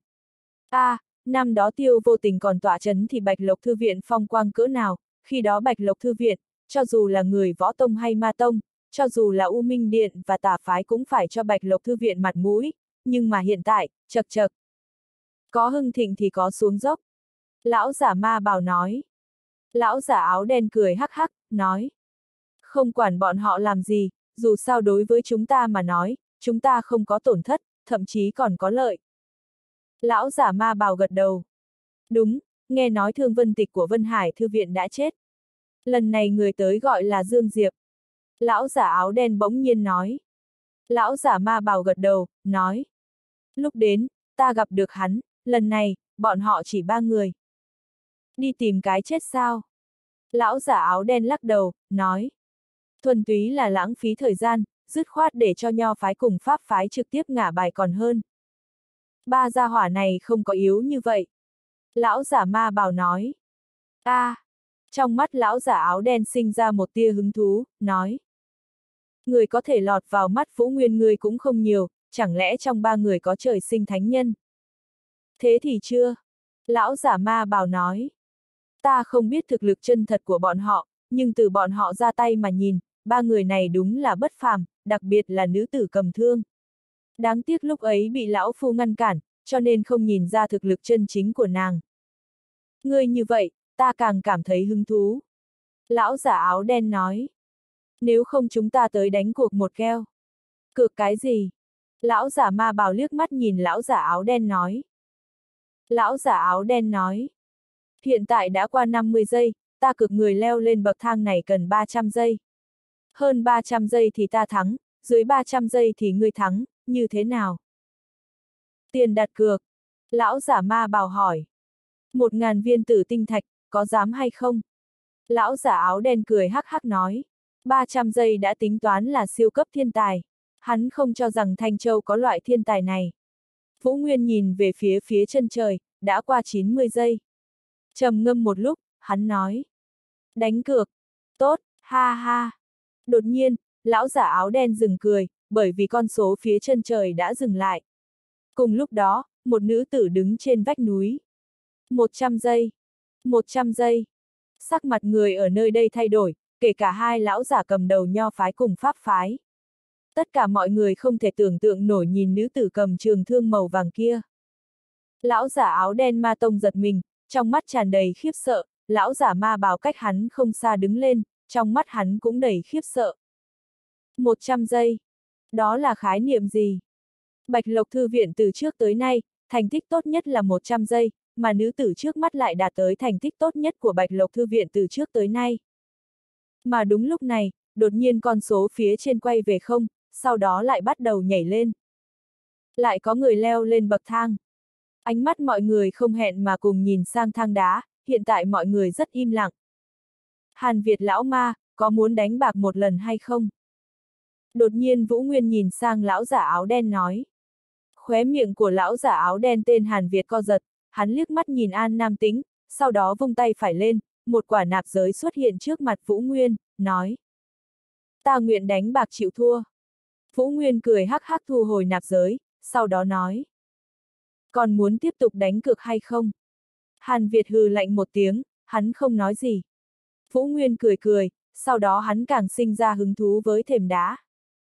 Rất nhanh, dưới ánh mắt của mọi người, con số phía chân trời đã lên tới 100 giây, nhưng lại không có người xuất hiện. Nhìn thấy cảnh này, đám người Bạch Lộc Thư Viện thở ra một hơi, đặc biệt là đám người Pháp phái này. Nếu như người Vân Hải Thư Viện tới đều có thể đạt tới hạn mức cao nhất, bọn họ sẽ bị vẽ mặt. Bởi vì bọn họ lúc trước muốn tiêu diệt Vân Hải Thư Viện, trừ bởi vì là thương vân tịch phản viện ra, cũng bởi vì cảm thấy Vân Hải Thư Viện tồn tại là sỉ nhục Bạch Lộc Thư Viện. Mà Thương Vân Tịch lần nào cũng đến tham gia Bạch Lộc Thư Viện thi đấu, dĩ nhiên hắn muốn chứng minh thiên tài Vân Hải Thư Viện không kém gì Bạch Lộc Thư Viện. Nếu như người Vân Hải Thư Viện tới đều có thể phá ghi chép, mặt mũi của bọn họ đặt ở nơi nào? Có lẽ, bọn họ hiện tại mặt đã không có nơi đặt mặt mũi. Thành tích tốt nhất Pháp phái từ trước tới nay là 109 giây, nữ tử của Vân Hải Thư Viện lại là 100 giây. Sắc mặt nhiều người trong Pháp phái trầm xuống. Trái lại, rất nhiều người nho phái nhìn về phía An Nam Tĩnh với ánh mắt vui vẻ. Thương Vân Tịch là người nho phái đi ra ngoài, bọn họ cho rằng, An Nam Tĩnh đã là người nho phái. 200 giây qua đi, nhưng vẫn không có người đi lên. Rất nhanh, 300 giây qua đi. Sau khi qua 300 giây vẫn chưa có ai lên, sắc mặt ma tông Hàn Việt càng khó nhìn.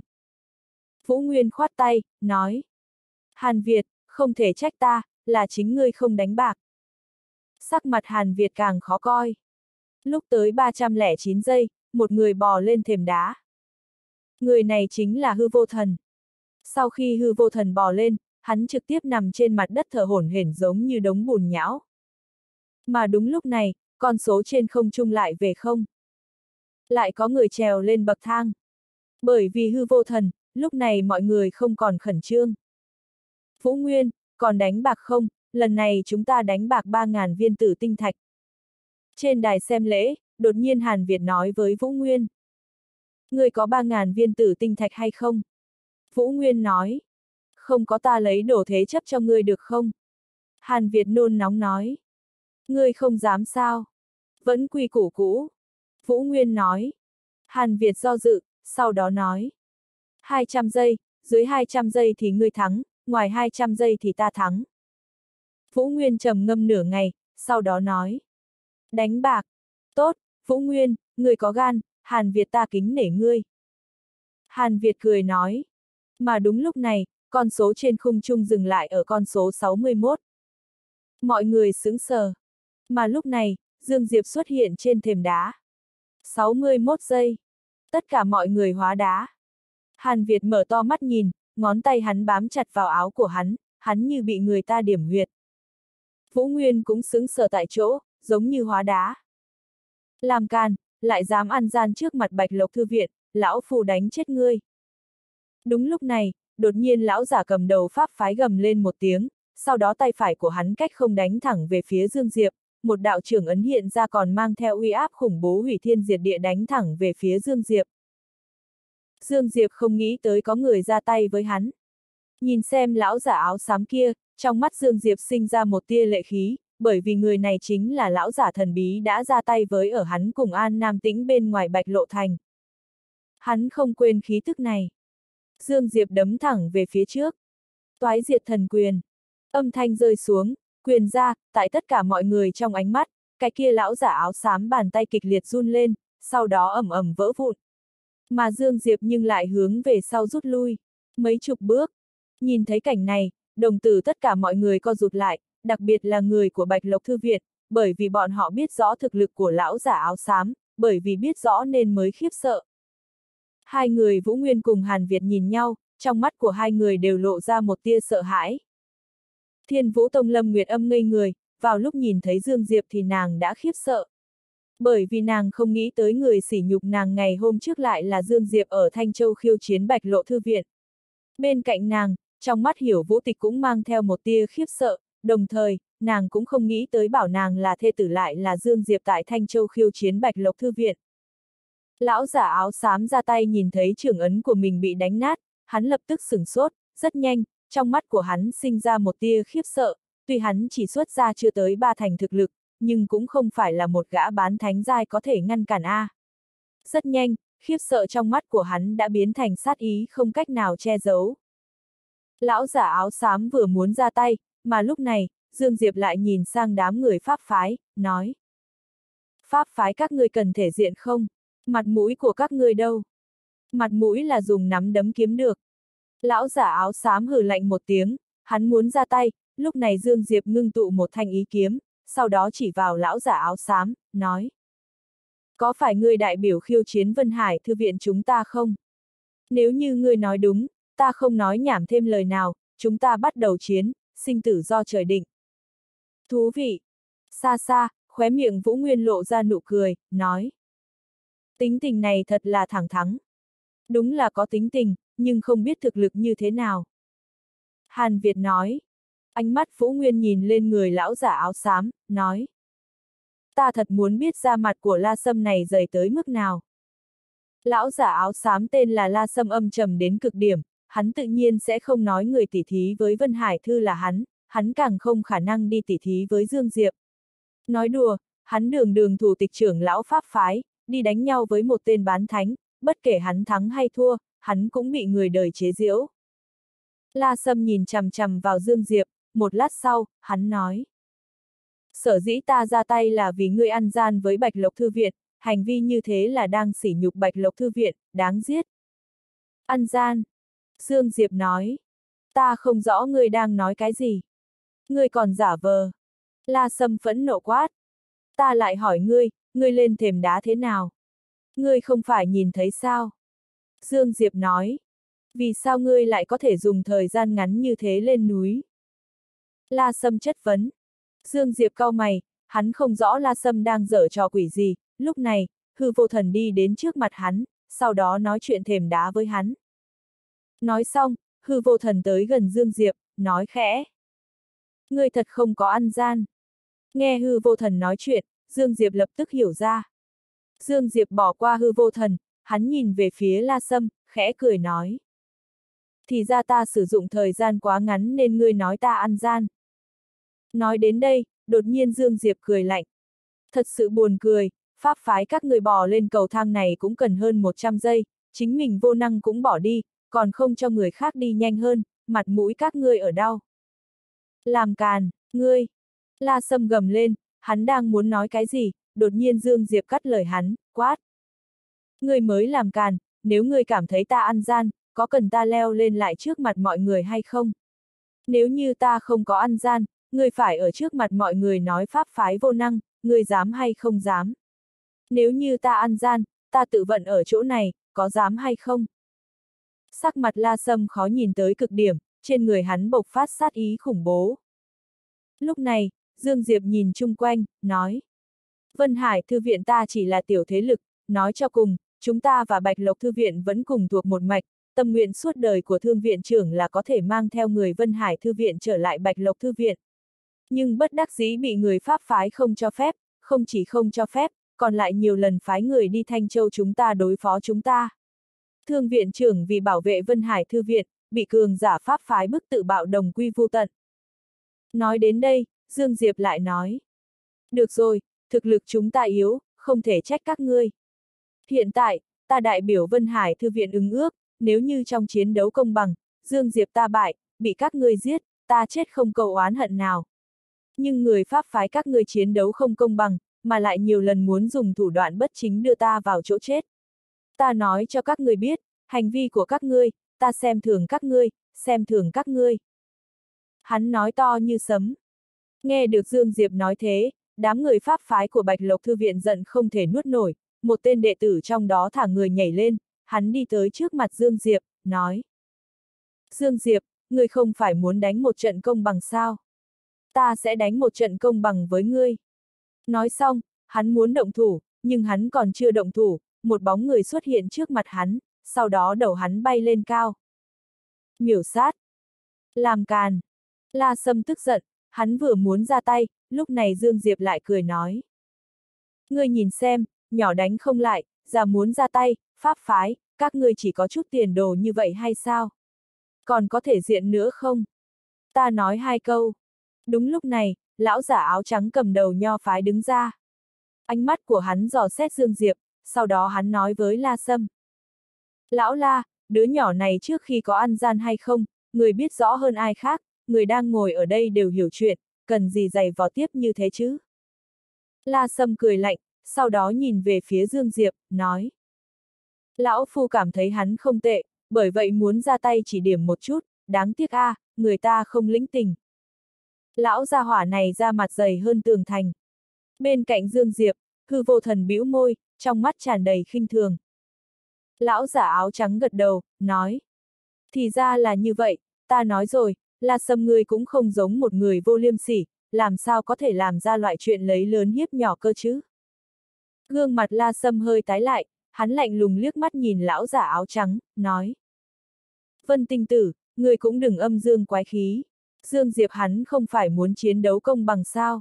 Tốt, ta sẽ cho hắn chiến đấu công bằng, bằng không thì, hắn còn tưởng rằng pháp phái ta không có người. Nói xong hắn nhìn về phía Dương Diệp, nói. Dương Diệp, nếu các người tới tham gia Bạch Lộc Thư Viện thi đấu, vậy thì phải dựa theo quy củ của Bạch Lộc Thư Viện, không có vấn đề gì chứ. Đương nhiên không có vấn đề.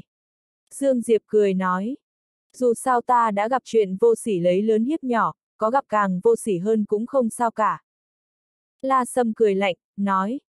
Dựa theo quy củ thi đấu của thư viện, trận đầu là đấu vòng loại, chính là chém giết tự do, thẳng đến một phương chết hết, hoặc là nhận thua mới thôi. Thế nào, có vấn đề không? Không có vấn đề. Dương Diệp nói. La Sâm nói. Đã không có vấn đề, vậy thì bắt đầu đi. Nói xong, hắn vung tay phải lên, 10 bóng người xuất hiện trên đài, là 8 nam hai nữ. Toàn bộ đều là thánh giả. 10 tên thánh giả. Quá không biết xấu hổ. Hư vô thần lập tức mắng, bên bọn họ có ba người, hơn nữa đều là bán thánh, mà pháp phái lại phái ra 10 người, mà lại đều là thánh giả, đúng là không quan tâm mặt mũi.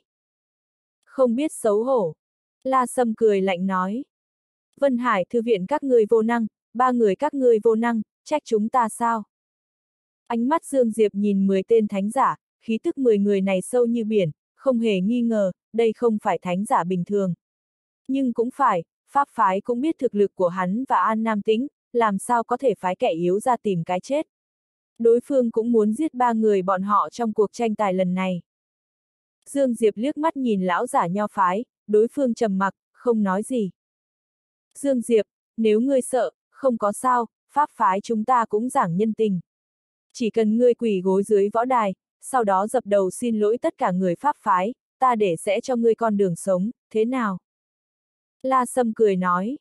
Khích tướng làm gì? Dương Diệp nói. Nếu các người muốn chết, cứ tới đi. Nói xong, thân hình Dương Diệp khẽ động, hắn bay lên võ đài, An Nam tính cùng hư vô thần theo sát phía sau. Tốt! La Sâm cười lạnh nói. Dương Diệp ngươi có gan, ngươi yên tâm, chúng ta sẽ lưu cho ngươi toàn thây.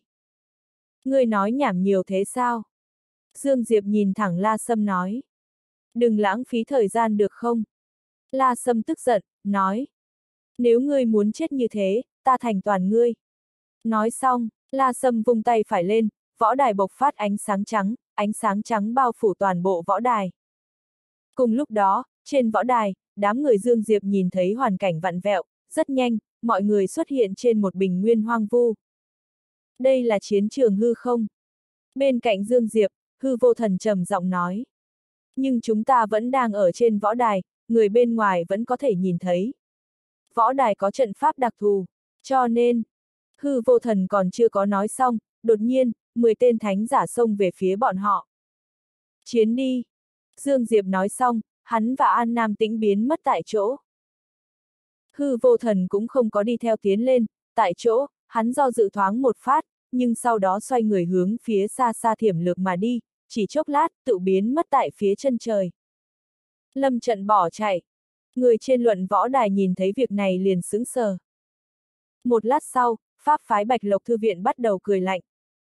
Đây là tinh anh của Vân Hải Thư Viện hay sao? Vân Hải Thư Viện là không có người sao?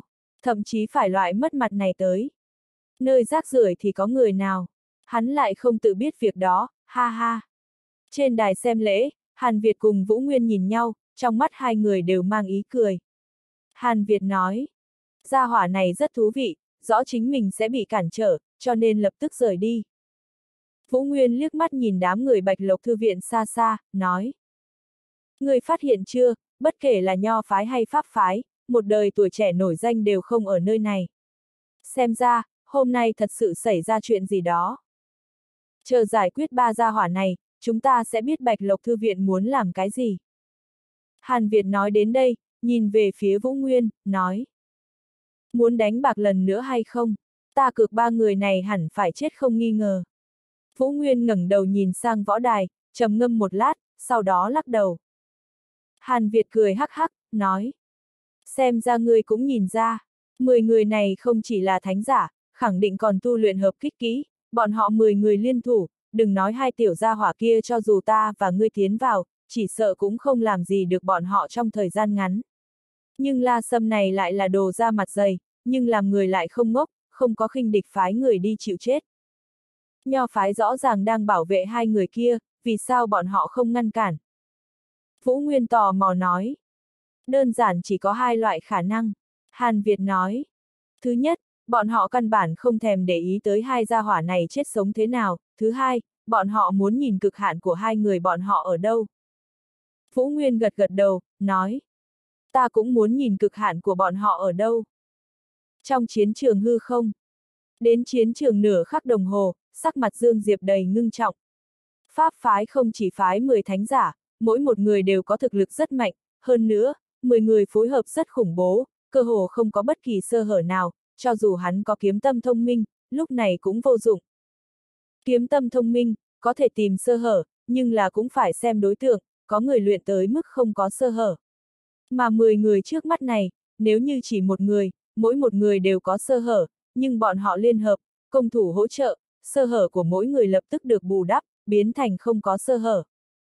Tăng thêm cảnh giới 10 người đều cao hơn hắn cùng An Nam Tĩnh một đại cảnh giới, bởi vậy, chiến một hồi, hắn và An Nam Tĩnh đều có dấu hiệu bị áp chế. Phải nói, nếu như hắn không phải ỉ vào ưu thế thân thể, hắn đã sớm bại. Mà An Nam Tĩnh, nếu như không phải ỉ vào ý thức chiến đấu siêu cường, bọn họ cũng sớm thua rồi. trầm ngâm một chớp mắt, Dương Diệp quát. Tĩnh nhi.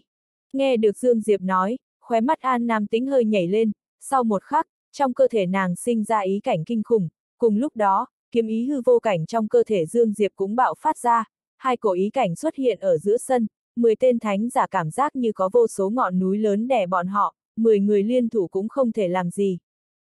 Nhưng sau một khắc, trong cơ thể 10 người này đều tuôn ra khí thế khủng bố. Khí thế của cường giả thánh giả.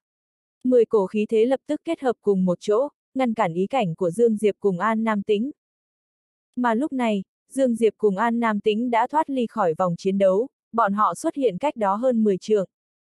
Chảm! Dương Diệp gầm lên một tiếng, tay phải cắm ý kiếm vào cổ sao và rút mạnh ra. Ông!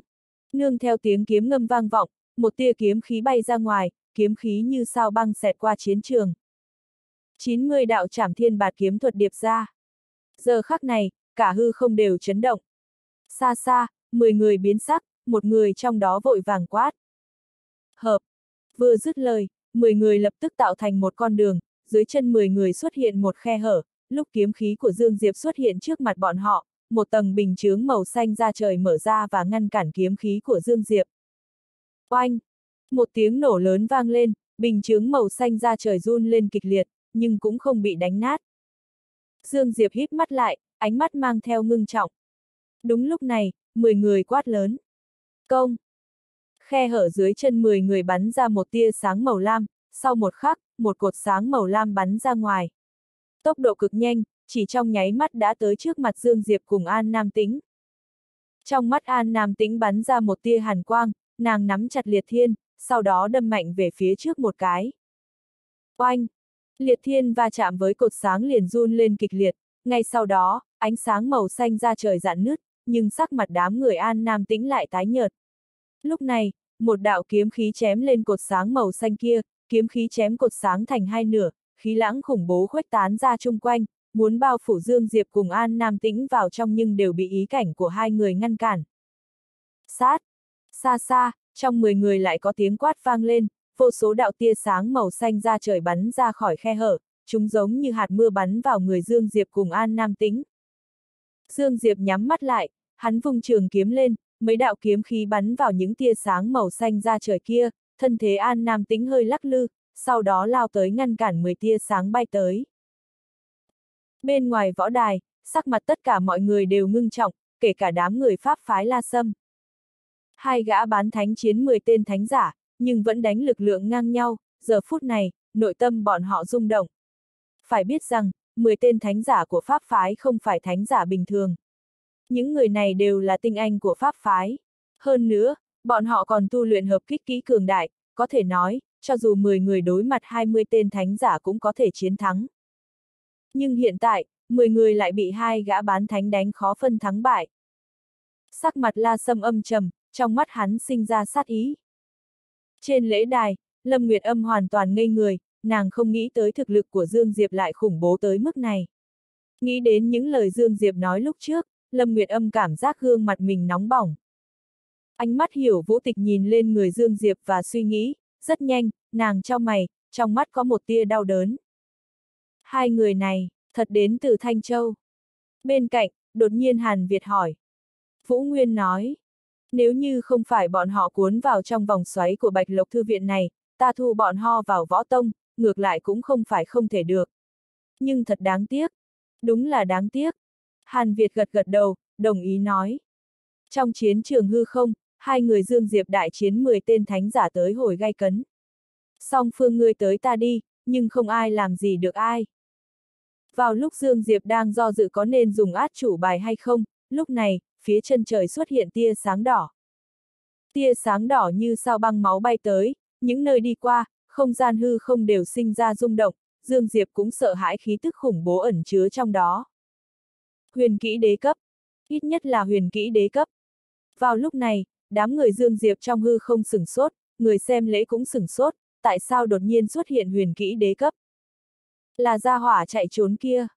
Trong tràng, không biết ai nói câu này. Mọi người lập tức nhớ tới hư vô thần chạy trốn lúc trước, bởi vì hai người Dương Diệp chiến đấu với cường giả pháp phái quá kịch liệt, bởi vậy, rất nhiều người trong tiềm thức bỏ qua hư vô thần, mà bọn họ không nghĩ tới, gia hỏa này chạy trở về còn phóng thích đại chiêu. Hiện tại, sắc mặt đám người pháp phái khó coi tới cực điểm. Oanh! Trong hư không, tia sáng đỏ chui vào trong 10 tên thánh giả, cả hư không rung động, vô số tia sáng đỏ bộc phát đánh tan trận hình của 10 người, trong đó một gã thánh giả bị đánh gục tại chỗ, bởi vì những người khác không có phóng bị nên bị đánh không kịp trở tay, mặc dù không chết ngay nhưng đều bị thương nặng. Sát! Dương Diệp cùng An Nam Tính sẽ không bỏ qua cơ hội này, thân hình khẽ động, bọn họ lao thẳng vào những tên thánh giả bị trọng thương kia. Dừng tay, trận này chúng ta nhận thua. Bên ngoài võ đài, nhìn thấy cảnh tượng trong hư không, sắc mặt la sâm thay đổi, hắn vội vàng quát lớn. Đồng thời, tay phải hắn điểm về phía trước, hư không vặn vẹo, rất nhanh, ba người Dương Diệp xuất hiện trên võ đài, nhưng lại không có người pháp phái. Nhìn thấy cảnh này, La Sâm sững sờ, sau đó hắn giận dữ gào lên. Ngươi giết bọn họ. Dương Diệp khoát tay, nói. Ngươi hô quá chậm, không thể trách ta được. Ngươi căn bản là cố ý. La Sâm hung dữ nói. Chết đi cho ta. Nói xong, tay phải La Sâm vươn lên phía trước, một bàn tay khổng lồ xuất hiện bắt lấy ba người Dương Diệp. Lão cẩu, ta nhịn ngươi lâu rồi. Dương Diệp gào lên, trong cơ thể tủa ơ một cột máu tươi, bầu trời bị máu tươi bao phủ. Cột máu bắn lên trời mang theo lệ khí và huyết khí, còn có kiếm ý hư vô cảnh. Vô số người còn chưa khôi phục tinh thần, bàn tay của La Sâm bị chém thành hư vô, sau đó một tia máu tươi chui vào cơ thể La Sâm. Đôi mắt La Sâm mở to, thân thế hắn cứng ngắc. Mà tia kiếm khí đỏ rực kia không biến mất, nó còn bay thẳng vào lầu các phía sau La Sâm, vào lúc sắp đánh vào lầu các liền bị bàn tay xé rách không gian phá tan kiếm khí. Oanh!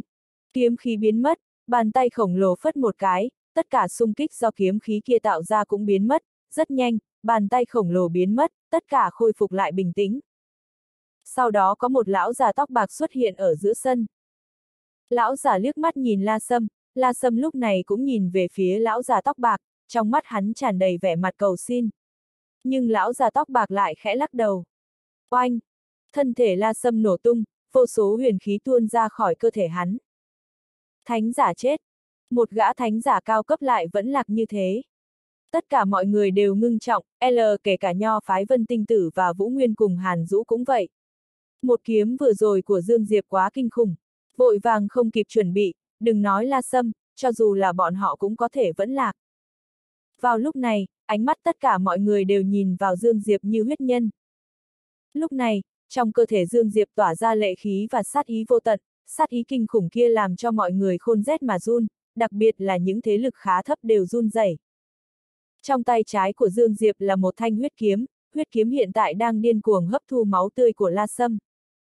Đối với Táng Thiên mà nói, máu của người càng mạnh càng mỹ vị. Dương Diệp híp mắt lại, thân thể không ngừng run rẩy, ở bên cạnh hắn là An Nam Tính. Ánh mắt An Nam Tính nhìn lão giả tóc bạc vừa xuất hiện, liệt thiên trong tay xoay tròn thật nhanh, nàng đề phòng lão giả. Lão già tóc bạc liếc mắt nhìn An Nam Tính, sau đó đi về phía Dương Diệp. Nhìn thấy cảnh này, đôi mắt nho phái vân tinh tử híp lại, sau đó tay phải xoay tròn, một tấm phủ lục vỡ ra. Rất nhanh, lão già tóc bạc đi tới cách Dương Diệp 10 trượng. Xuy! An Nam Tĩnh cầm trường thương đâm về phía lão già tóc bạc. Lão già tóc bạc vung tay điểm lên liệt thiên của An Nam Tĩnh, liệt thiên rung động bay ngược về phía sau, mà ngón tay của lão già tóc bạc hơi co giật. Trong mắt lão già tóc bạc hiện ra một tia kinh ngạc ngẩng đầu nhìn về phía An Nam Tĩnh, nói. Vũ khí không tệ, người càng không tệ, ngươi là đệ tử Vân Hải Thư Viện. An Nam Tĩnh nắm chặt liệt thiên, hiện tại tay nàng đang run rẩy, không phải vì sợ hãi, mà là khi nàng tiếp lấy liệt thiên, bên trong liệt thiên ẩn chứa lực lượng rất cường đại. Mặc dù không tệ, nhưng vẫn còn quá yếu. Lão già tóc bạc vừa dứt lời, tay phải bắn ra uy áp cường đại về phía An Nam Tĩnh. Oanh! Đúng lúc này, đột nhiên trong cơ thể An Nam Tĩnh tuôn ra ý cảnh kinh khủng áp chế lão giả. Quyền ý, không tệ, nhưng vẫn chưa đủ. Lão già tóc bạc khẽ lắc đầu. Mà đúng lúc này, oanh! Trong người An Nam Tĩnh lại sinh ra ý cảnh khác, hai cổ ý cảnh lập tức dung hợp ngăn cản uy áp của lão giả. Chiến ý! Trong mắt lão già tóc bạc hiện ra một tia kinh ngạc. Lão già tóc bạc vừa dứt lời. Dầm dầm dầm. Lại có mấy đạo ý cảnh sinh ra trong người An Nam Tĩnh, tất cả ý cảnh này dung hợp với nhau tạo thành ý cảnh mới. Lúc này, uy áp của lão già tóc bạc không có hiệu quả với An Nam Tĩnh. Vào lúc này mọi người giật mình không nhỏ, Vũ Nguyên trực tiếp đứng lên, ánh mắt của hắn không dám tin vào những gì mình nhìn thấy. Chiến ý, quyền ý, thương ý. Lão già tóc bạc trong mắt cũng khiếp sợ, nói. Người vậy mà có được sáu ý cảnh, tất cả đều là hư vô cảnh, càng khó được ngươi lại càng dung hợp chúng vào một chỗ, trở thành một loại ý cảnh mới, tốt, rất tốt, không nghĩ tới Thanh Châu lại xuất hiện thiên tài như ngươi. Ta vốn có ý mến tài, nhưng nhìn sắc mặt của ngươi, ta biết ngươi không hàng pháp phái. Đã như vậy, ngươi đi chết đi. Lão già tóc bạc đang muốn ra tay, lúc này, Dương Diệp mở mắt ra, hai cột máu bắn về phía lão già tóc bạc.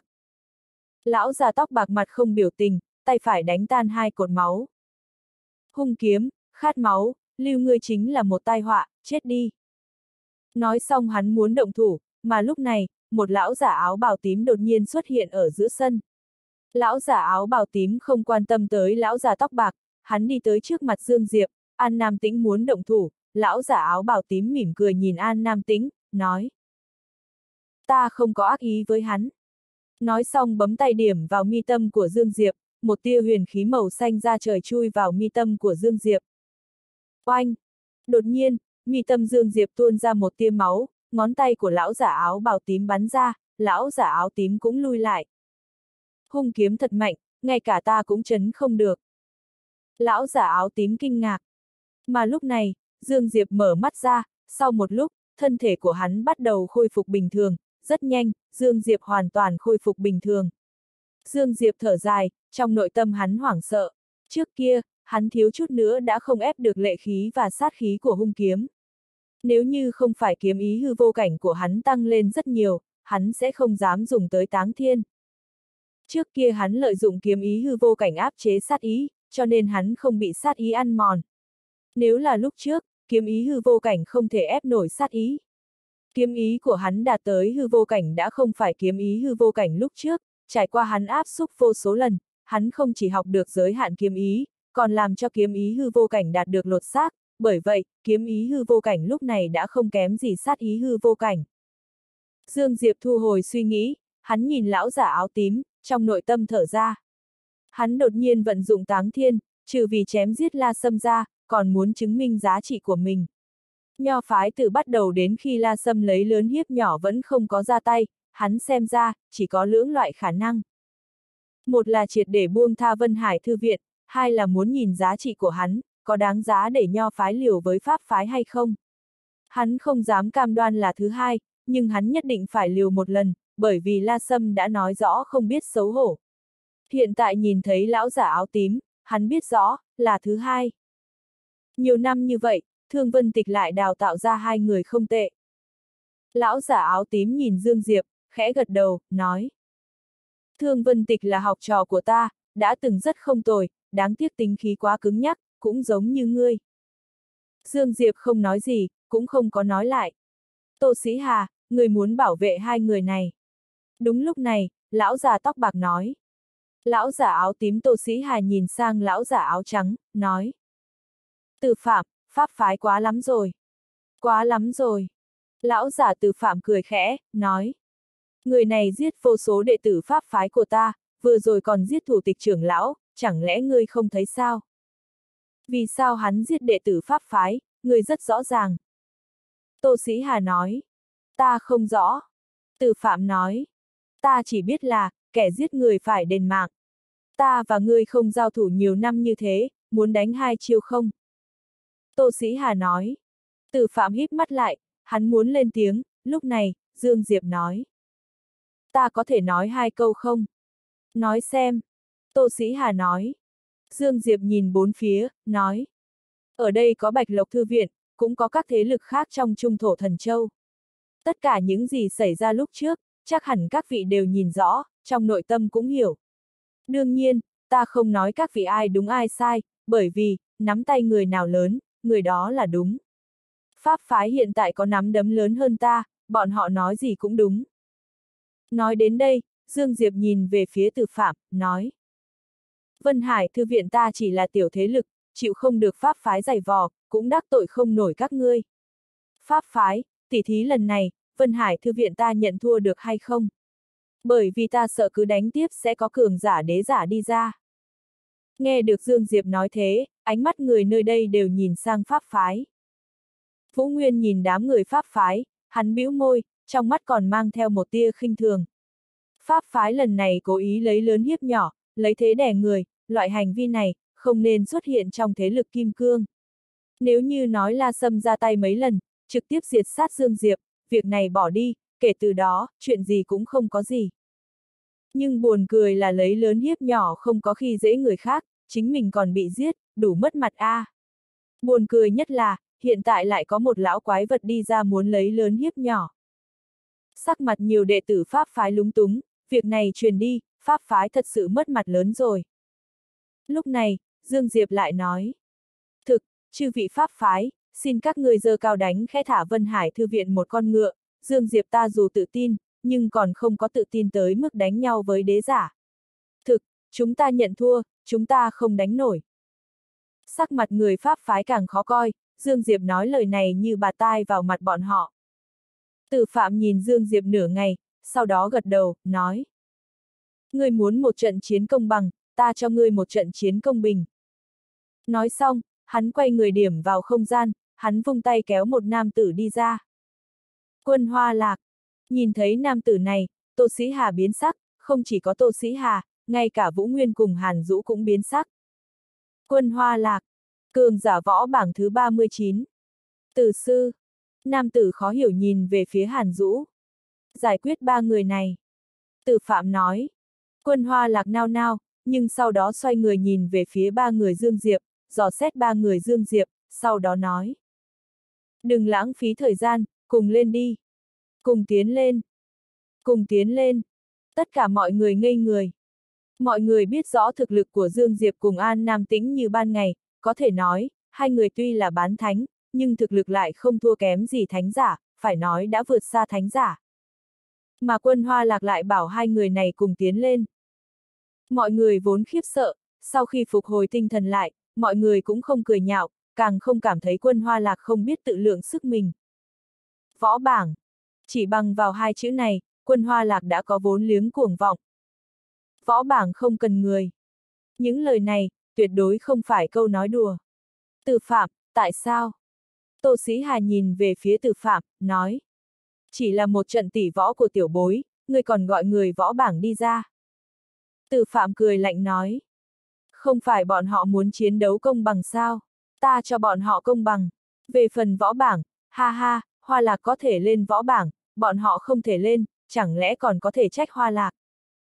Sắc mặt Tô Sĩ Hà trầm xuống, lúc này, từ phạm lại nói. Còn nữa, hoa lạc không phải nói sao, ba người bọn họ cùng tiến lên sao, nói cho cùng, bọn họ còn chiếm tiện nghi.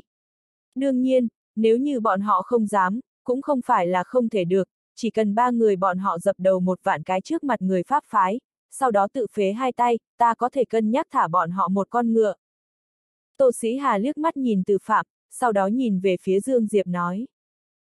Võ bảng không cần người, người tự lựa chọn. Dương Diệp nhìn thẳng Tô Sĩ Hà, nói. Chiến, chúng ta không sợ, chúng ta sợ một lúc nữa có đồ không biết xấu hổ nhúng tay vào. Thậm chí còn có gia hỏa già hơn vô sỉ hơn xuất hiện. Ta cam đoan với ngươi, tỉ thí tuyệt đối công bằng. Tô Sĩ Hà nhìn Dương Diệp, nói. Nếu như ngươi giết hắn, ta cam đoan với ngươi, cho dù đế giả hàng lâm cũng không thể giết ngươi. Nếu như ba người Dương Diệp giết quân Hoa Lạc, từ đó đại biểu ba người có thực lực lên võ bảng, phải biết rằng, quân Hoa Lạc là thánh giả, mà ba người Dương Diệp mới bán thánh. Thiên tài có thể lên võ bảng, đáng giá nho phái không tiếc giá nào cũng phải bảo vệ bọn họ. Lúc này, từ phạm cười lạnh nói.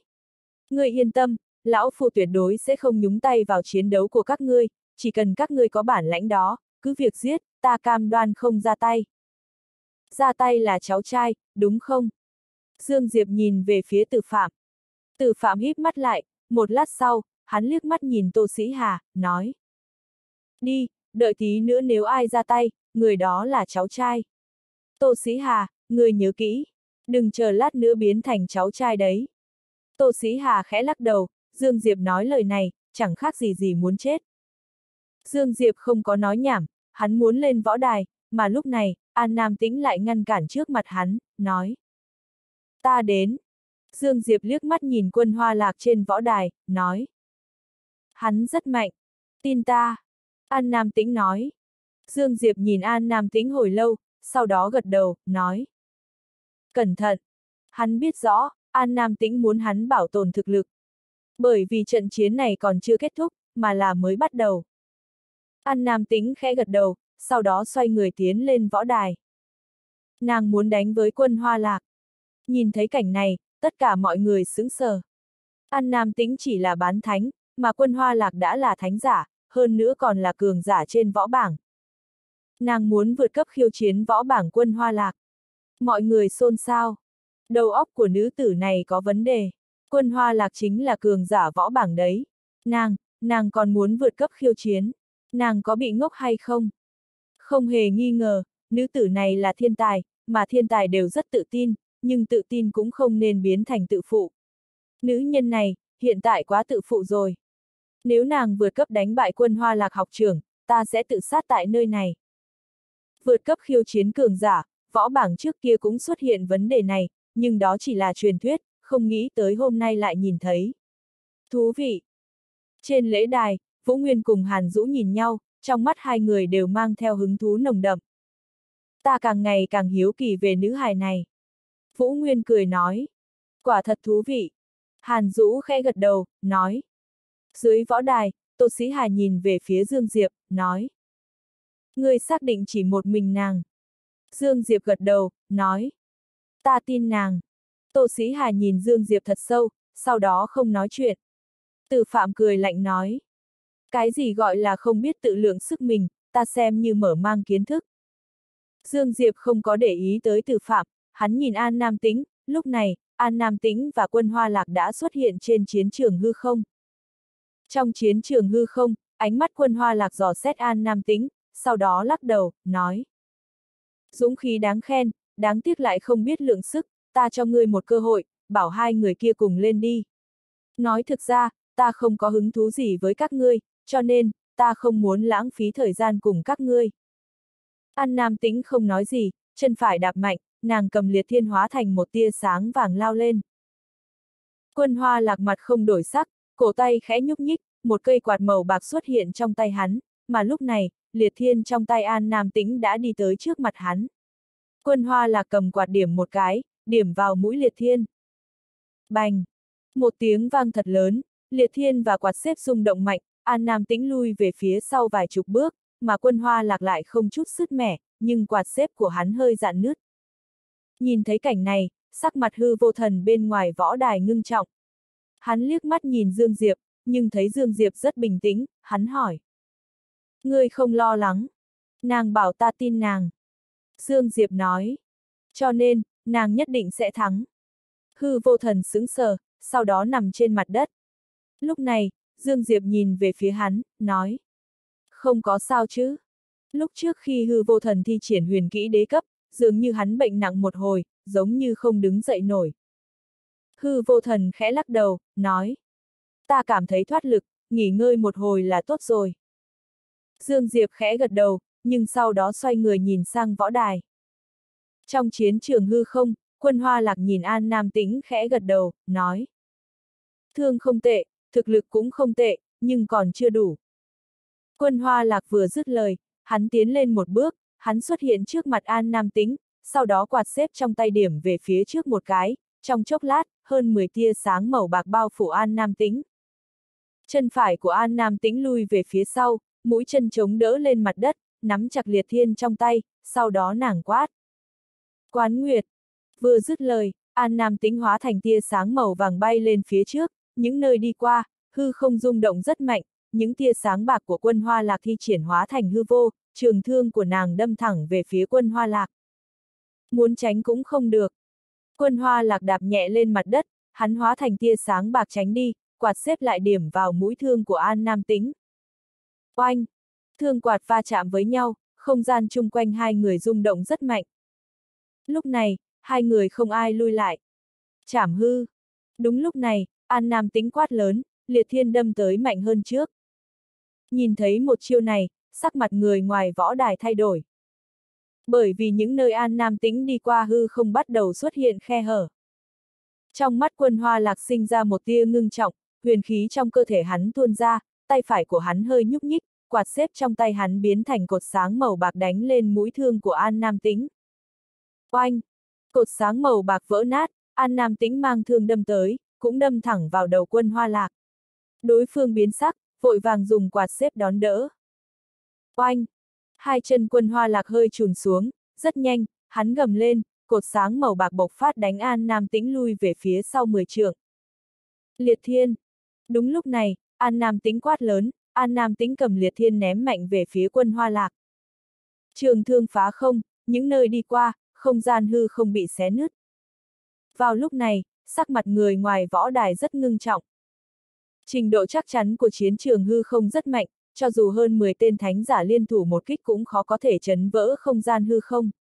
Nhưng An Nam Tĩnh lại có thể dùng sức của mình phá vỡ không gian. Giờ phút này, sắc mặt từ phạm càng khó coi. Chiến trường hư không, tốc độ của trường thương cực nhanh, chỉ trong nháy mắt đã xuất hiện trước mặt quân hoa lạc, hắn dùng quạt xếp ngăn cản. Phanh! Quạt xếp vừa tiếp xúc với trường thương liền vỡ vụn, hóa thành hư vô. Liệt thiên của An Nam Tính cũng bị quân hoa lạc cầm chặt, nhưng lực lượng cường đại trong đó đánh quân hoa lạc lui về phía sau, sau khi lui lại ngàn trượng, quân hoa lạc dừng lại, mà lúc này, liệt thiên đã đâm vào ngực của hắn, tuy không sâu, chỉ đâm vào vài tấc. Tốt! Đúng lúc này, Vũ Nguyên hưng phấn nói. Nữ hài không tệ, ba thức vừa rồi không kém gì huyền kỹ thần giai thượng phẩm, ba thức hợp nhất có thể so sánh với đế cấp. Mà khó khăn nhất rất lớn, nàng có thể thi triển ba thức dễ dàng, hơn nữa không hề có sơ hở. Tốt! Bên cạnh Vũ Nguyên, Hàn Dũ cũng gật đầu, nói. Đúng là khó lường. Lúc này, từ phạm nhìn sang Vũ Nguyên cùng Hàn Dũ, nói. Hai vị gấp cái gì? Chẳng phải tỉ thí chưa kết thúc hay sao? Vũ Nguyên cười nói. Từ huynh, ta không có ý gì khác, chỉ cảm khái, ha ha. Tử phạm liếc mắt nhìn Vũ Nguyên, sau đó lại nhìn về phía võ đài, sắc mặt của hắn hiện tại rất khó nhìn. Trong chiến trường hư không, An Nam tính khẽ vẫy tay, liệt thiên bay trở về trong tay nàng, nàng đang muốn ra tay lần nữa, lúc này, quân hoa lạc cười nói. Không nghĩ tới ta lại bị một bán thánh làm bị thương, tốt, người đáng giá ta nghiêm túc. Nói xong, tay phải quân hoa lạc xoay tròn, trong chốc lát, một một tia sáng màu bạc như nắm đấm bay ra ngoài, sau đó cả hư không biến thành màu bạc. Ta dùng chiêu này để lên võ bảng, hôm nay, người rất vinh hạnh khi chết dưới chiêu này. Quân Hoa Lạc nói. Mà lúc này, An Nam Tĩnh lại nhìn về phía chân trời, nói. Có lẽ người rất muốn biết thực lực chân thật của ta. Ánh mắt Dương Diệp nhìn An Nam Tĩnh, hắn biết rõ, An Nam Tĩnh đang nói với hắn. Lúc này, An Nam Tĩnh lại nói. Võ thần đời thứ nhất nói với ta, võ thần không có vũ khí mới thật sự là võ thần. Vừa dứt lời, An Nam Tĩnh buông liệt thiên ra, sau đó nàng tiến lên phía trước, nói. Dùng danh tiếng võ thần. Dùng danh tiếng võ thần, gọi thiên địa chi linh, tụ.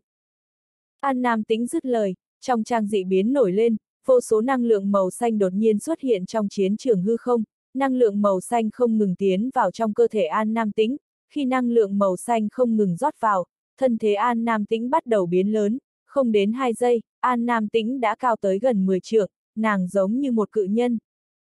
Thiên địa chi linh. Bên ngoài võ đài, đột nhiên thân thể Vũ Nguyên run rẩy đứng lên, hắn rung giọng nói. Nàng, nàng, nàng là võ thần thể. Nàng biết chiêu này, nàng vậy mà biết chiêu này. Làm sao có thể, làm sao có thể.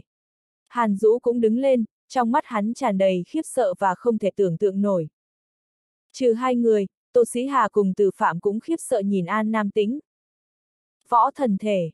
Trong tất cả thể chất đặc thù, xếp hạng thứ hai. Trong lịch sử linh giới đến nay chỉ xuất hiện qua một lần, chính là đệ nhất cường giả linh giới năm xưa, tổ sư võ tông. Dương Diệp cùng hư vô thần ngây người, cái gì võ thần thể, hai người bọn họ hoàn toàn không rõ ràng lắm. Trong chiến trường hư không, lúc này An Nam Tĩnh đã đạt cao gần 20 trượng, nàng nhìn quân hoa lạc đang ngây người, cũng không nói lời nào, nàng xuất ra một quyền. Dừng tay. Bên ngoài võ đài, sắc mặt từ phạm thay đổi, hắn vẫy tay phải, lúc này Tô Sĩ Hà đã ngăn cản trước mặt hắn, nói.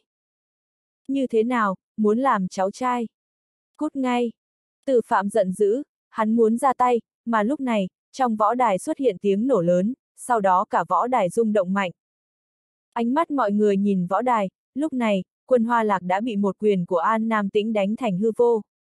Đồng thời, dường như cả chiến trường không chịu nổi một quyền của An Nam Tĩnh nên vỡ nát, rất nhanh, cả võ đài nát vụn trong ánh mắt của mọi người, sau đó An Nam Tĩnh xuất hiện trong tầm mắt mọi người. Lúc này, An Nam Tĩnh vẫn giữ hình dạng cự nhân. Người giết hoa lạc. Trong mắt tử phạm sắp nứt ra, cổ tay khẽ đảo, hắn xuất trưởng tấn công An Nam Tĩnh, trưởng ra, một bàn tay khổng lồ đánh thẳng về phía An Nam Tĩnh. Sắc mặt Tô Sĩ Hà cùng Dương Diệp trầm xuống, hai người muốn động thủ, lúc này, An Nam Tĩnh nói.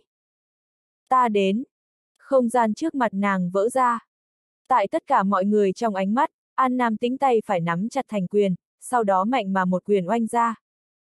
Oanh! Bàn tay khổng lồ của từ phạm lập tức hóa thành hư vô, sau đó nắm đấm của An Nam tĩnh đánh thẳng vào mặt từ phạm, sắc mặt từ phạm thay đổi, hắn vội vàng ngăn cản. Oanh! Sau tiếng nổ lớn, trong ánh mắt kinh hãi của tất cả mọi người, từ phạm bay ra ngoài, bay thẳng vào một tòa lầu to lớn, tòa lầu chỉ rung động chứ không hao tổn gì. Nhìn thấy cảnh này, không chỉ những người khác, ngay cả Dương Diệp cũng ngây người, An Nam tính lợi hại như vậy. An Nam tính tiến lên một bước, nàng muốn ra tay, mà lúc này, nàng cao mày, vô số năng lượng màu xanh thoát ra khỏi cơ thể nàng, cuối cùng tiêu tán trong trời đất, thân thể của An Nam tính cũng nhanh chóng khôi phục bình thường. Sau khi khôi phục bình thường, An Nam tính vô cùng suy yếu, sắc mặt nàng trắng bệch không có chút máu, ngay cả đứng cũng không vững Dương Diệp vội vàng đi tới ôm nàng vào ngực. Không có sao chứ? Dương Diệp vội vàng xuất ra một viên tử tinh thạch cho nàng ăn vào, ôn nhu nói. An Nam tính khẽ lắc đầu, sau đó nói. Ta lợi hại chứ? Dương Diệp mỉm cười, nói. Rất lợi hại, nếu như ngươi biến thân đánh với ta, ta nhất định sẽ bị ngươi đánh bay. Hắn nói không sai, An Nam tính vừa rồi, cho dù hắn thi triển giới hạn lực lượng cũng bị đánh bay. An Nam tính tươi cười, Dương Diệp nói. Lực lượng vừa rồi không phải lực lượng của ngươi, nhưng nó còn mạnh hơn cả lực lượng thân thể. Đó là thiên địa chi linh, một chiêu do võ thần đời thứ nhất sáng chế ra, tụ tập năng lượng che giấu trong thiên địa cho mình sử dụng.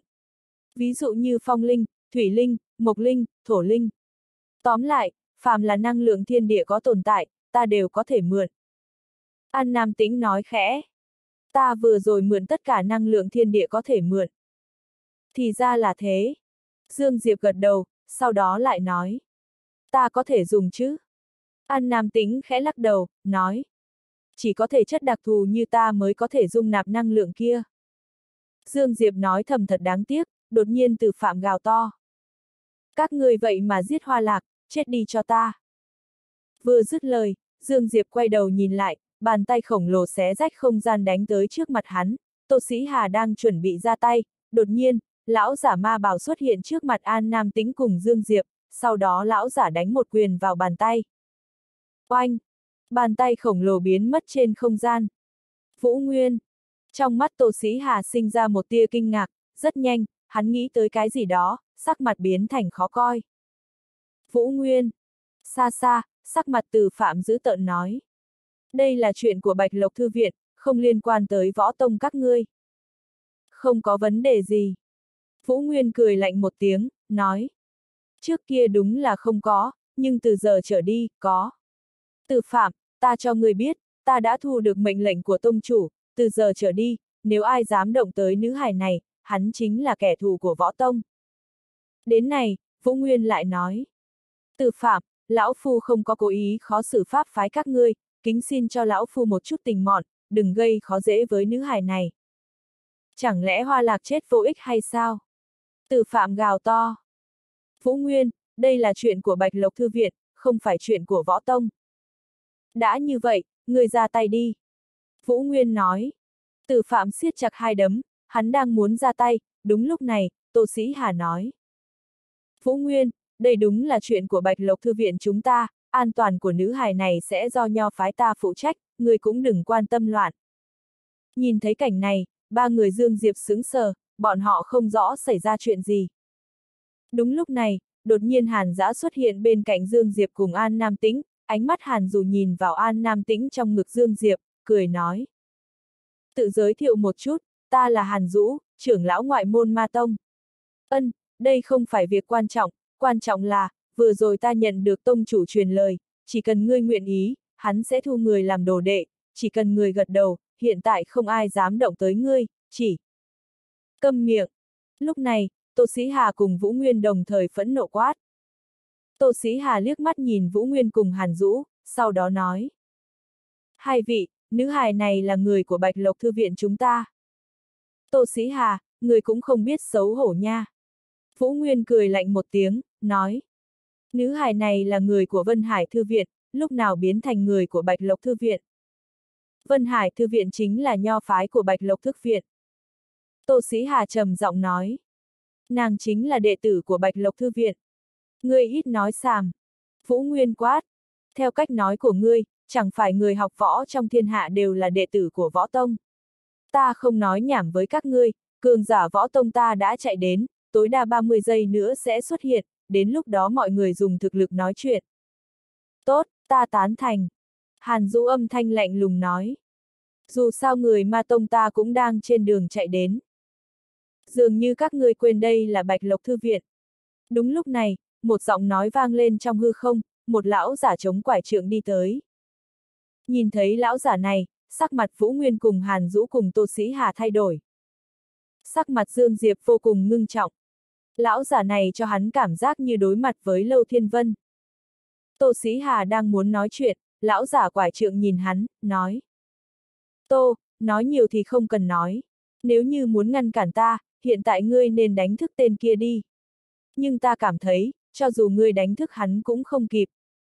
Sắc mặt Tô Sĩ Hà vô cùng khó coi. Lão giả quải trượng bỏ qua hai người Tô Sĩ Hà cùng Vũ Nguyên, ánh mắt nhìn lên người An Nam Tĩnh, nói. Nếu như người nguyện ý gia nhập pháp phái ta, chuyện lúc trước, xóa bỏ. Ta thả chết đứng cũng không sống quỳ. Lúc này An Nam Tĩnh trả lời. Lão giả quải trượng nhìn An Nam Tĩnh nửa ngày, sau đó gật đầu, nói. Không hổ là võ thần thể, thực lực không tệ, tâm tính càng không tệ. Đã như vậy, người đi chết đi. Lão giả quải trượng đang muốn động thủ, lúc này, đột nhiên phía chân trời có tiếng cười to vang lên. Tốt, tốt một câu thá chết đứng còn hơn sống quỳ, không hổ là đồ đệ của hạo thiên ta, ha ha. Vừa dứt lời, một lão giả áo xanh xuất hiện ở giữa sân. Nhìn thấy lão giả này, sắc mặt lão giả quải trượng trầm xuống. Sư thúc tổ. Vũ Nguyên vội vàng nghênh đón, cung kính nói. Hạo thiên phẫn nộ quát. Ta hỏi ngươi, phát hiện võ thần thể, vì sao ngươi không báo cho ta biết trước? Mà lại thông chi đám tiểu hài tử kia. Vì cái gì? Vũ Nguyên. Ngươi chờ đó cho ta, xem ta sau này chơi chết ngươi thế nào. Hạo Thiên tức giận liếc Vũ Nguyên, sắc mặt Vũ Nguyên càng khó coi. Hạo Thiên không quan tâm tới Vũ Nguyên, mà là quay người nhìn về phía lão giả quải trượng, hắn dò xét lão giả quải trượng, cười nói. Ôi, a, à, Lý lão quải, rất nhiều năm không gặp, biến thành nửa bước đế giả a. À. Nhớ năm đó, lão phu trở thành nửa bước đế giả thì ngươi vẫn là thánh giả, thiên phú không tệ.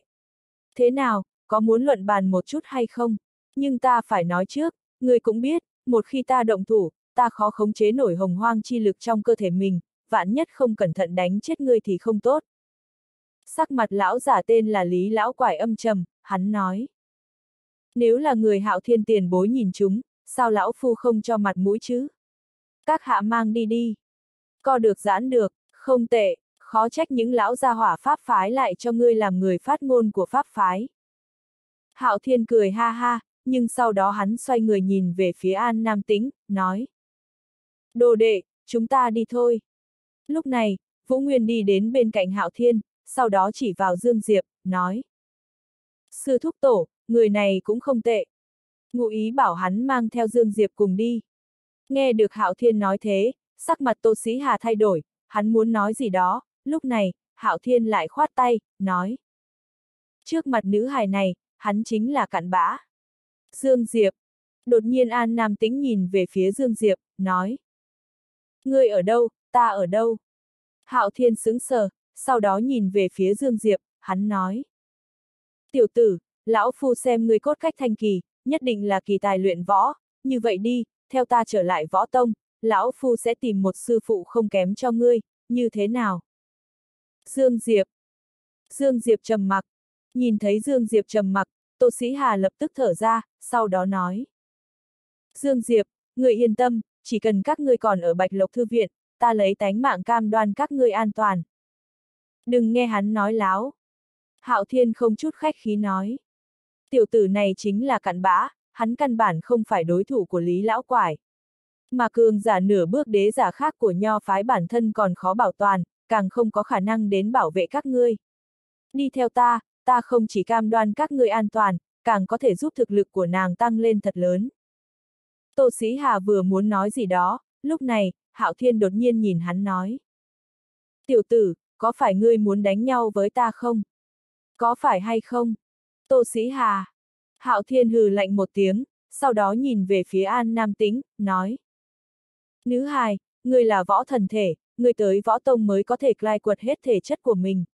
Hơn nữa, võ tông ta có vô số tài nguyên, chỉ cần ngươi đến võ tông, ta bảo đảm ngươi sẽ lên võ bảng trong 3 năm, hơn nữa còn đạt tới ít nhất trước 20.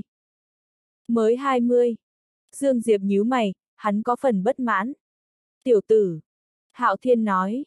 Ngươi có biết võ bảng biến thái cỡ nào không? Tuy quân Hoa Lạc là người võ bảng, nhưng chỉ là tồn tại kế cuối. Ngươi biết những kẻ đứng trước biến thái cỡ nào hay không? Không chỉ như vậy, đám biến thái top 10, cho dù là lão phu cũng khó thắng bọn họ, hiểu không? Dương Diệp biến sắc, hắn không biết những yêu nghiệt top 10 biến thái cỡ nào, hắn biết rõ lão nhân này khủng bố ra sao. Tuy lão nhân này không phải đế giả chân chính, nhưng tuyệt đối không kém gì Lâu Thiên Vân đã trở thành đế giả. Hạo Thiên lại nói, tiểu tử, nữ hài này thiên phú tuyệt hảo, ở lại Bạch Lộc Thư Viện chính là lãng phí, càng có khả năng nguy hiểm tánh mạng. Người cũng nhìn thấy, Bạch Lộc Thư Viện hiện tại nội bộ mâu thuẫn tới mức này, người cần gì phải cho nàng nhảy vào vũng nước đục đó chứ? Tô Sĩ Hà muốn nói cái gì, nhưng cuối cùng hắn chỉ thở dài mà thôi. Hắn rất muốn lưu lại An Nam Tĩnh, võ thần thể đấy. Linh giới từ trước tới nay chỉ xuất hiện một lần, nhưng hắn biết rõ, trừ phi nho phái cùng pháp phái liên thủ mới có thể lưu lại An Nam Tĩnh, từ cục diện trước mắt thì hắn biết không có khả năng làm như vậy. Dương Diệp trầm mặc hồi lâu, sau đó cúi đầu nhìn An Nam Tĩnh trong ngực, nói. Ngươi thấy thế nào? Ta đi theo ngươi. An Nam Tĩnh trả lời không chút do dự. Dương Diệp khẽ lắc đầu, nói. Tĩnh nhi, ngươi nhìn thấy, thế giới này cường giả quá nhiều, mà chúng ta lại quá yếu. Ta cũng muốn ngươi đi theo ta, ta cũng không muốn tách ra khỏi ngươi, nhưng ngươi đi theo ta, ta căn bản không thể giúp ngươi, hoặc là, đi theo ta chỉ hạn chế ngươi, hiểu chưa? Hắn tự nhiên sẽ không cho An Nam Tĩnh ở lại Bạch Lộc Thư Viện, có lẽ nho phái Bạch Lộc Thư Viện sẽ bảo vệ mình, như vậy làm sao có thể giữ được An Nam Tĩnh? Giống như trước kia, nếu như không phải lão đầu võ tông chạy đến, hậu quả thiết tưởng không chịu nổi. Còn nữa, thiên phú của An Nam Tĩnh vốn tuyệt hảo, thậm chí còn mạnh hơn mình nhiều, loại thiên phú này, chỉ cần cho nàng một cơ hội, một bình đài, nàng nhất định sẽ nhất phi trùng thiên. Tuy hắn thực không muốn tách ra khỏi An Nam Tĩnh, hơn nữa hắn cũng biết, chỉ cần hắn mở miệng, An Nam Tĩnh nhất định sẽ lưu lại. Nhưng hắn không thể ích kỷ như vậy, An Nam Tĩnh không phải An Nam Tĩnh của Dương Diệp, nàng ưa thích võ đạo, nàng khẳng định sẽ đi xa hơn trên con đường võ đạo. Cho nên, hắn không muốn trói buộc An Nam Tĩnh. An Nam Tĩnh nhìn Dương Diệp, nói. Chúng ta có thể cùng đi. Nghe được An Nam Tĩnh nói thế, sắc mặt Tô Sĩ Hà thay đổi, An Nam Tĩnh đi, đối với Bạch Lộc Thư Viện mà nói là tổn thất khó lường, nếu như Dương Diệp cũng đi, khi đó nho phái thiệt thòi muốn chết. Tô Sĩ Hà muốn nói gì đó, Dương Diệp lại lắc đầu. Hắn làm sao không nhìn ra, lão đầu võ tông chỉ xem trọng An Nam Tĩnh, hắn đi theo sẽ không được xem trọng. Còn nữa, hắn cũng không thể lập tức rời khỏi Bạch Lộc Thư Viện. Cũng không phải hắn có cảm tình với Bạch Lộc Thư Viện, mà là Vân Hải Thư Viện còn cần nho phái tới bảo hộ. Võ Tông không có dây dưa với Vân Hải Thư Viện, cũng không có lợi ích gì, căn bản không có khả năng vì Vân Hải Thư Viện mà đối địch với Pháp phái. Nhìn thấy Dương Diệp lắc đầu, Tô Sĩ Hà lập tức thở ra một hơi. Nhìn thấy An Nam Tĩnh trầm mặc, Dương Diệp cười cười, nói. Mặc kệ ngươi quyết định gì, ta đều ủng hộ ngươi. An Nam Tĩnh ngẩng đầu nhìn Hạo Thiên, nói. Ngươi mạnh bao nhiêu? Cường giả sẽ bắt bẻ đồ đệ, mà những thiên tài yêu nghiệt chân chính cũng bắt bẻ sư phụ. Hạo Thiên tự nhiên hiểu đạo lý đó, hắn chỉ vào Lý Lão Quải, nói.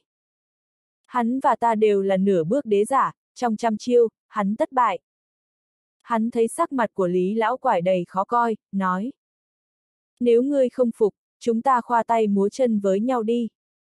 Lý Lão Quải tức giận tới cực điểm, sau nửa ngày, hắn nói.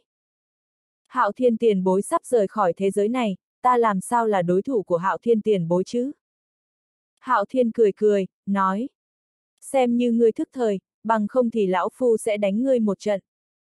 Hắn nhìn về phía An Nam Tĩnh, nói. Nữ hài, lão phu cũng không quanh co với ngươi. Lão phu sở dĩ vội vã thu đệ tử, là vì lão phu ở lại thế giới này không lâu, lão phu rời đi sẽ lưu truyền thừa lại thế giới này, tương đương với hậu trường của lão phu tại linh giới. Trước kia không có đồ đệ, là lão phu chướng mắt, mà những người phi thường ưu tú lại không thích hợp với lão phu.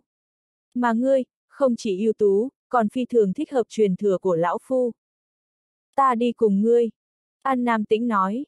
Đủ sảng khoái. Hạo Thiên cười nói. Nhưng ta có điều kiện. An Nam Tĩnh nói. Ngươi. Hạo Thiên nói. An Nam Tĩnh nhìn về phía Dương Diệp, nói. Ta muốn lưu lại cùng hắn đối mặt pháp phái. Hạo Thiên khẽ trao mày, lúc này, Dương Diệp nói. Không cần, còn lại sẽ do ta giải quyết. Hắn không muốn An Nam Tĩnh bởi vì hắn mà bỏ qua cơ hội này. Ta kiên trì. An Nam Tĩnh nói. Dương Diệp. Lúc này, Vũ Nguyên bên cạnh Hạo Thiên đột nhiên nói. Các ngươi tỉ thí với Pháp phái ba trận, mà hôm nay, các ngươi đã thắng hai trận, cho nên hiện tại không cần so nữa. Ai bảo không cần. Lúc này, đột nhiên Lý Lão Quải nói. Ba ván thắng hai với điều kiện tiên quyết bọn chúng thắng, nếu như ván thứ ba bọn chúng chết, tự nhiên là Pháp phái thắng. Lý Lão Quải, chỉ là ba tiểu bối, cần thiết làm tuyệt như vậy không? Hạo Thiên nói. Lý Lão Quái nhìn Hạo Thiên, nói. Việc này quan hệ tới thanh danh Pháp phái, càng quan hệ với tương lai của Pháp phái. Đương nhiên, nếu như Hạo Thiên tiền bối thật muốn nhúng tay vào, ta khẳng định không ngăn được Hạo Thiên tiền bối. Nhưng Pháp phái sẽ không mặc kệ người khác sỉ nhục, cùng lão mọi người mời lão tổ tông hạ giới chơi đùa. Người uy hiếp ta. Hạo Thiên tức giận. Bạch Lộc Thư viện ta chưa tới mức nhìn người khác nhúng tay vào. Lý Lão Quải nhìn thẳng Hạo Thiên, hắn không chút nào nhượng bộ. Trong tràng, mùi thuốc súng dày đặc. Đã muốn tỉ thí, tiếp tục tỉ thí đi. Đúng lúc này, Dương Diệp nói, nếu như có thể, hắn muốn chuyện này kết thúc, nhưng Pháp phái rõ ràng không muốn buông tha bọn họ. Sở dĩ đáp ứng, là vì Pháp phái bây giờ còn đang tuân thủ quy tắc tỉ thí này, nếu như lão đầu võ tông ra tay, Pháp phái sẽ không tuân thủ quy tắc. Thắng, ngươi có thể còn sống, bằng không thì ngươi còn muốn như thế nào? Lý lão quái nói. Lúc này, Tô Sĩ Hà đột nhiên nói. Mà một khi Pháp phái không tuân thủ quy tắc, Vân Hải Thư Viện sẽ gặp tai ương diệt vong. Không nói việc khác, chỉ một người như từ phạm đi Thanh Châu cũng đủ để tiêu diệt Vân Hải Thư Viện cùng Vân Hải Thành. Về phần võ tông, hắn sẽ không cho võ tông liều mạng với Pháp phái vì Vân Hải Thư Viện. Việc này vẫn phải dựa vào chính mình. Lý Lão Quải liếc mắt nhìn Dương Diệp, nói. Nếu ngươi không có vấn đề, chúng ta tiếp tục bắt đầu. Chậm đã. Hạo Thiên nhìn về phía Dương Diệp, nói. Tiểu tử, người ta nói rõ muốn giết ngươi, ngươi cần phải nghĩ kỹ. Dương Diệp cười khẽ, nhìn về phía Lý Lão Quải, nói. Sau ván thứ ba, sẽ không còn có ván thứ tư chứ. Yên tâm, đây tuyệt đối là một ván cuối cùng. Lý Lão Quải nói. Dương Diệp đầu, lại nói. Nếu như chúng ta thắng, phải như thế nào? Thắng, ngươi có thể còn sống, bằng không thì ngươi còn muốn như thế nào? Lý Lão Quái nói. Lúc này, Tô Sĩ Hà đột nhiên nói. Dương Diệp, người yên tâm, sau đó, ai dám ra tay với Vân Hải Thư Viện, chẳng khác nào ra tay với nho phái chúng ta. Đã đi một an nam tính, hắn không thể nhìn Dương Diệp cũng đi.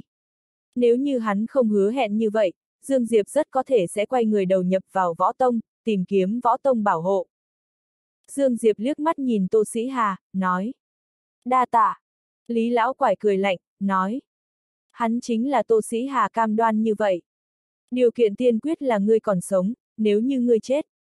Ngươi nhìn xem nho phái có thể che chở Vân Hải Thư viện hay không. Nói nhảm nhiều quá. Dương Diệp nhìn thẳng Lý Lão Quải, nói. Ván thứ ba như thế nào? Một ván định thắng bại. Lý Lão Quải nói. Có thể. Dương Diệp nói, An Nam tính cùng hư vô thần đều bị thương, căn bản không thích hợp chiến đấu, ván này định thắng bại, rất hợp ý hắn. Lý Lão Quải vung tay phải lên, một bệ đá xuất hiện trên sân rộng, bệ đá nhanh chóng biến thành võ đài. Lên đi! Lý Lão Quải nói. Dương Diệp liếc mắt nhìn Lý Lão Quải, nói. Người đấu với ta không phải là người đó chứ? Ngươi không có tư cách. Lý Lão Quải nói, một bóng người nhảy lên võ đài, người này không phải người khác, chính là Từ Phạm. Đối thủ của ngươi là ta. Từ Phạm lạnh lùng nhìn Dương Diệp, nói. Quá vô sỉ. Phía dưới, hư vô thần nằm trên mặt đất nhảy dựng lên. Hạo Thiên lắc đầu, nói. Ta xem như nhìn thấy cái gì gọi là không biết xấu hổ. Sắc mặt Tô Sĩ Hà cũng khó nhìn, nói. Từ phạm, mặt mũi của ngươi ở đâu? Ngươi có mặt mũi sao? Từ phạm cười lạnh nói. Dương Diệp cảnh giới thấp, chẳng lẽ trách ta? Nếu như không phục, Vân Hải Thư Viện cũng có thể phái bán thánh cao cấp xuất chiến. Dương Diệp trầm mặc. Như thế nào, không có sao? Từ phạm cười lạnh nói. Đã không có, còn trách ta sao? Muốn trách cũng chỉ có thể trách Vân Hải Thư Viện vô năng. Dương Diệp lật tay một cái, cổ sao xuất hiện trên tay, hắn cắm ý kiếm vào cổ sao, làm xong này tất cả, hắn nhìn sang Lý Lão Quải, nói. Bắt đầu đi. Lý Lão Quải liếc mắt nhìn Dương Diệp, sau đó vung tay phải lên, trên võ đài, Dương Diệp cùng từ phạm tiến vào chiến trường hư không. Sau khi tiến vào chiến trường, từ phạm cười lạnh nói. Dương Diệp, ngươi, ngươi là chó sao, tại sao nói nhảm nhiều như vậy? Dương Diệp vừa dứt lời, hắn rút kiếm. Ông, nương theo tiếng kiếm ngâm vang, kiếm khí sáng như tuyết xé rách không gian, không gian rung động rất mạnh, mọi người đều sợ hãi nhìn Dương Diệp. 90 đạo trảm thiên bạt kiếm thuật điện ra. Sau khi thân thể đạt tới thần lực cảnh, hắn đã có thể dễ dàng thi triển ra 90 đạo trảm thiên bạt kiếm thuật điệp ra. Tử phạm đã thu liễm xem thường, tuy hắn khó chịu Dương Diệp, nhưng cũng không dám xem nhẹ Dương Diệp. Dương Diệp thể hiện thực lực quá mạnh, hoàn toàn có thể uy hiếp tới hắn. Điêu trùng tiểu kỹ. Tử phạm vừa dứt lời, hắn vươn tay điểm một cái, ngón tay va chạm với kiếm khí của Dương Diệp. Oanh! Cả hai chạm vào nhau giống như hai thiên thạch chạm nhau, trong chốc lát bộc khí lãng khủng bố, khí lãng quét qua chung quanh, chiến trường hư không rung động rất mạnh. Chạm! Đúng lúc này, tiếng quát giận dữ của Dương Diệp tiếng vang lên, thân thể Dương Diệp hóa thành kiếm quang biến mất tại chỗ, những nơi kiếm quang đi qua, khí lãng bị cắt nát tới đó. Kiếm khí đánh tới, trong mắt Tử phạm sinh ra thần thái hung ác, tay phải hóa trưởng, huyền khí trong cơ thể điên cuồng tuôn ra, sau đó hắn đánh về phía trước. Toái liệt trưởng. Vừa dứt lời, một trưởng hóa thành đao chém vào người Dương Diệp. Oanh! Cả hai chạm vào nhau, chiến trường hư không dạn nứt, hai người lui lại phía sau. Trên võ đài, Hạo Thiên gật đầu, nói. Tiểu tử này không tệ. Lúc này, hắn quay đầu nhìn về phía An Nam Tĩnh, cười nói. So với ngươi, hắn còn kém xa. An Nam Tĩnh không có nói lời nào, Dương Diệp có mạnh hay không, chờ tí nữa hắn sẽ biết. Hạo Thiên cười cười, sau đó nhìn về phía Hàn Dũ, nói. Mấy lão gia hỏa ma tông các ngươi vẫn chưa tới. Hàn Dũ liếc mắt nhìn Hạo Thiên, nói. Nếu Hạo Thiên tiền bối nhìn chúng nữ hài này, tiền bối ma tông sẽ cho Hạo Thiên tiền bối mặt mũi. Chó má! Hạo Thiên mắng. Đám người đó tới nhanh lắm, mấy lão thất phu ma tông cái kia biết rõ có tới cũng vô dụng, cái gì gọi là cho ta mặt mũi, lão phu cần thiếu nhân tình các ngươi hay sao? Khóe miệng hàn Dũ co giật, hắn cười gượng, cũng không nói lời nào. Sư thúc tổ. Lúc này, đột nhiên Vũ Nguyên đi đến trước mặt Hạo Thiên, nói. Dương Diệp xem như không tệ, thiên phú kiếm đạo của người này rất mạnh, thân thể càng khủng bố.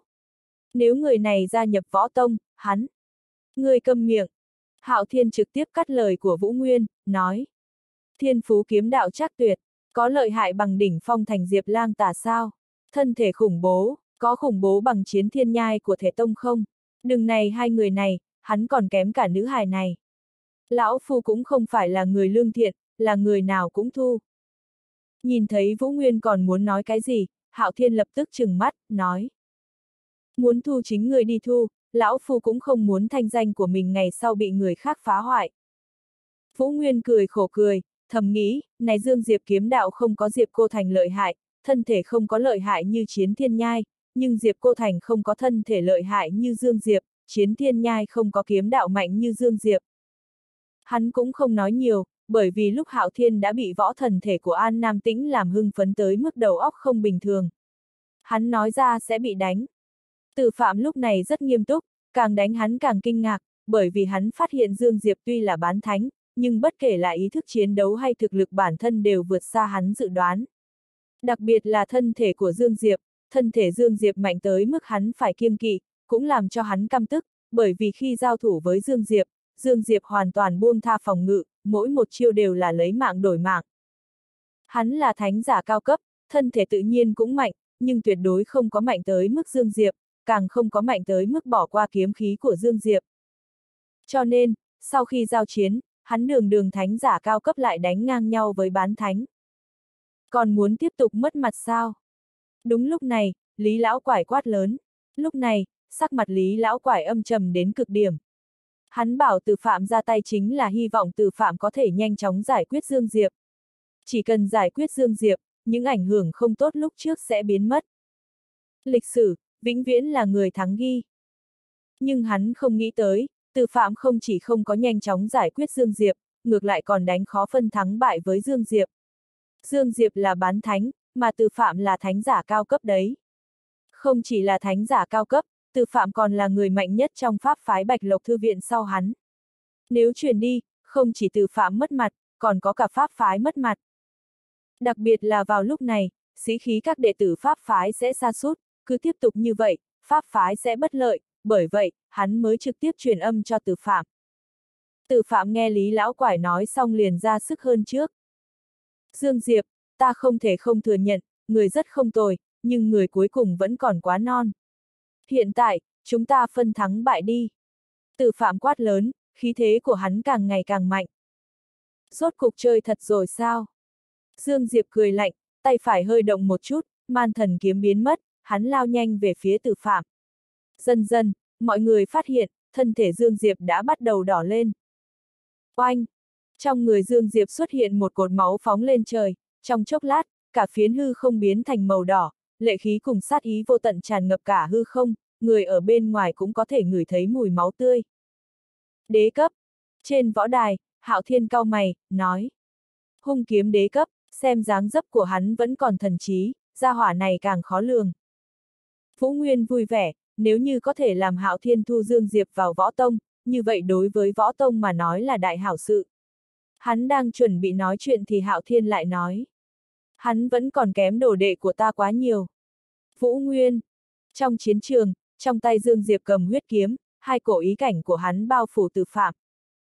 Kiếm ý hư vô cảnh, sát ý hư vô cảnh. Nhìn thấy hai ý cảnh của Dương Diệp, sắc mặt Lý Lão Quải càng âm trầm.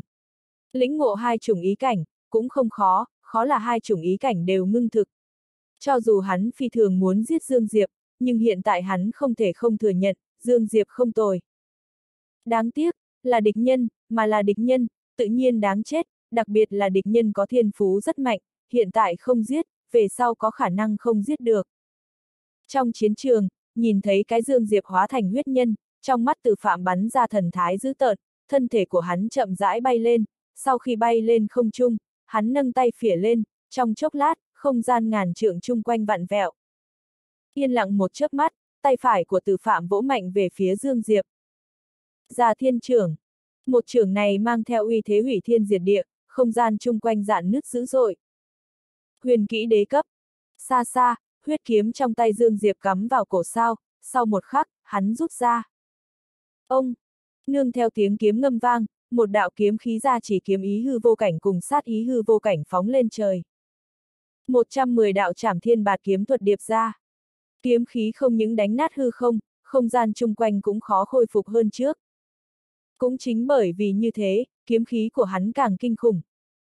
Trong ánh mắt của mọi người, kiếm khí huyết sắc đánh thẳng vào bàn tay khổng lồ của đối phương, nhưng chỉ dừng lại một lát, kiếm khí xé rách bàn tay khổng lồ, sau đó cũng chém lên người tử phạm đang ngạc nhiên.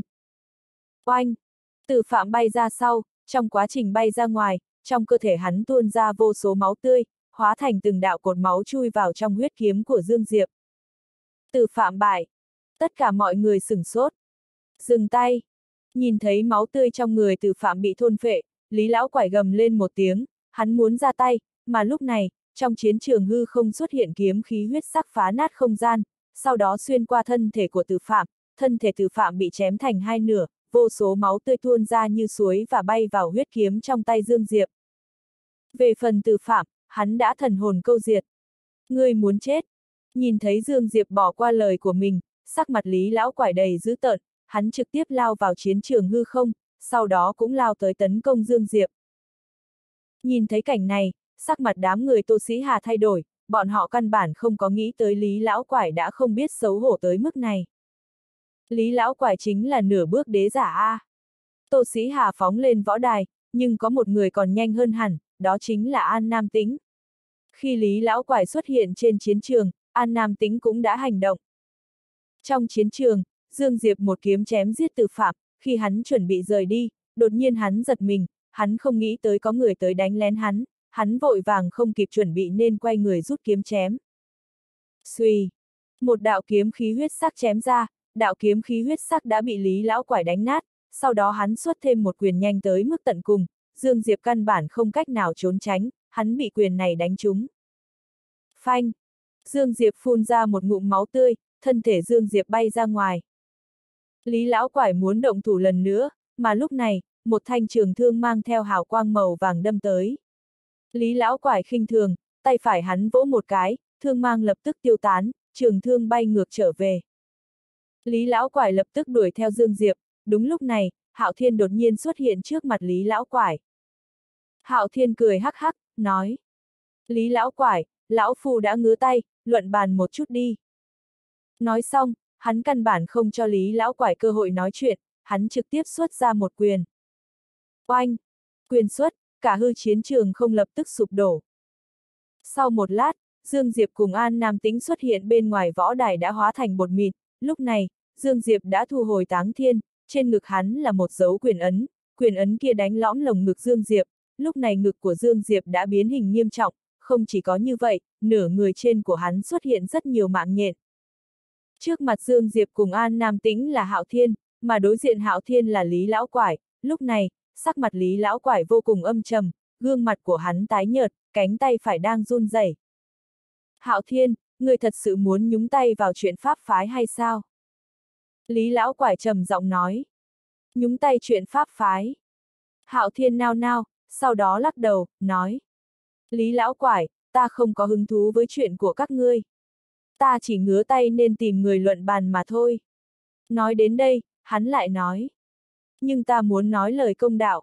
Lý Lão Quải, người nói giao thủ công bằng, người lại nhúng tay, còn dùng thân phận bán đế khi dễ một bán thánh, nói thực ra, nếu việc này truyền đi, về sau Lý Lão Quải ngươi cũng nổi danh. Không chỉ ngươi nổi danh, Pháp Phái và Lão Tổ Tông Pháp Phái các ngươi cũng nổi danh. Lý Lão Quải nhìn Hạo Thiên hồi lâu, cuối cùng nói. Lần này mời Võ Tông là Pháp Phái ta, hiện tại, Pháp Phái ta không chào đón Võ Tông, Hạo Thiên tiền bối có thể rời đi. Muốn đuổi người. Hạo Thiên cười hắc hắc, nói. Ngươi không nói ta cũng đi. Ở chỗ này nhìn các ngươi vô liêm sỉ lấy lớn hiếp nhỏ, ta cũng không có ý muốn lưu lại. Nói xong, hắn bỏ qua sắc mặt khó coi của Lý Lão Quải, quay người nhìn về phía An Nam Tĩnh, nói. Đồ đệ ngoan, người ta không chào đón chúng ta, chúng ta đi. An Nam Tĩnh nhìn dấu quyền trước ngực Dương Diệp, cuối cùng, nàng hít sâu một hơi, nàng xoay người nhìn sang Lý Lão Quải, nói. Cuối cùng có một ngày, ta sẽ tự tay cắt đầu của ngươi.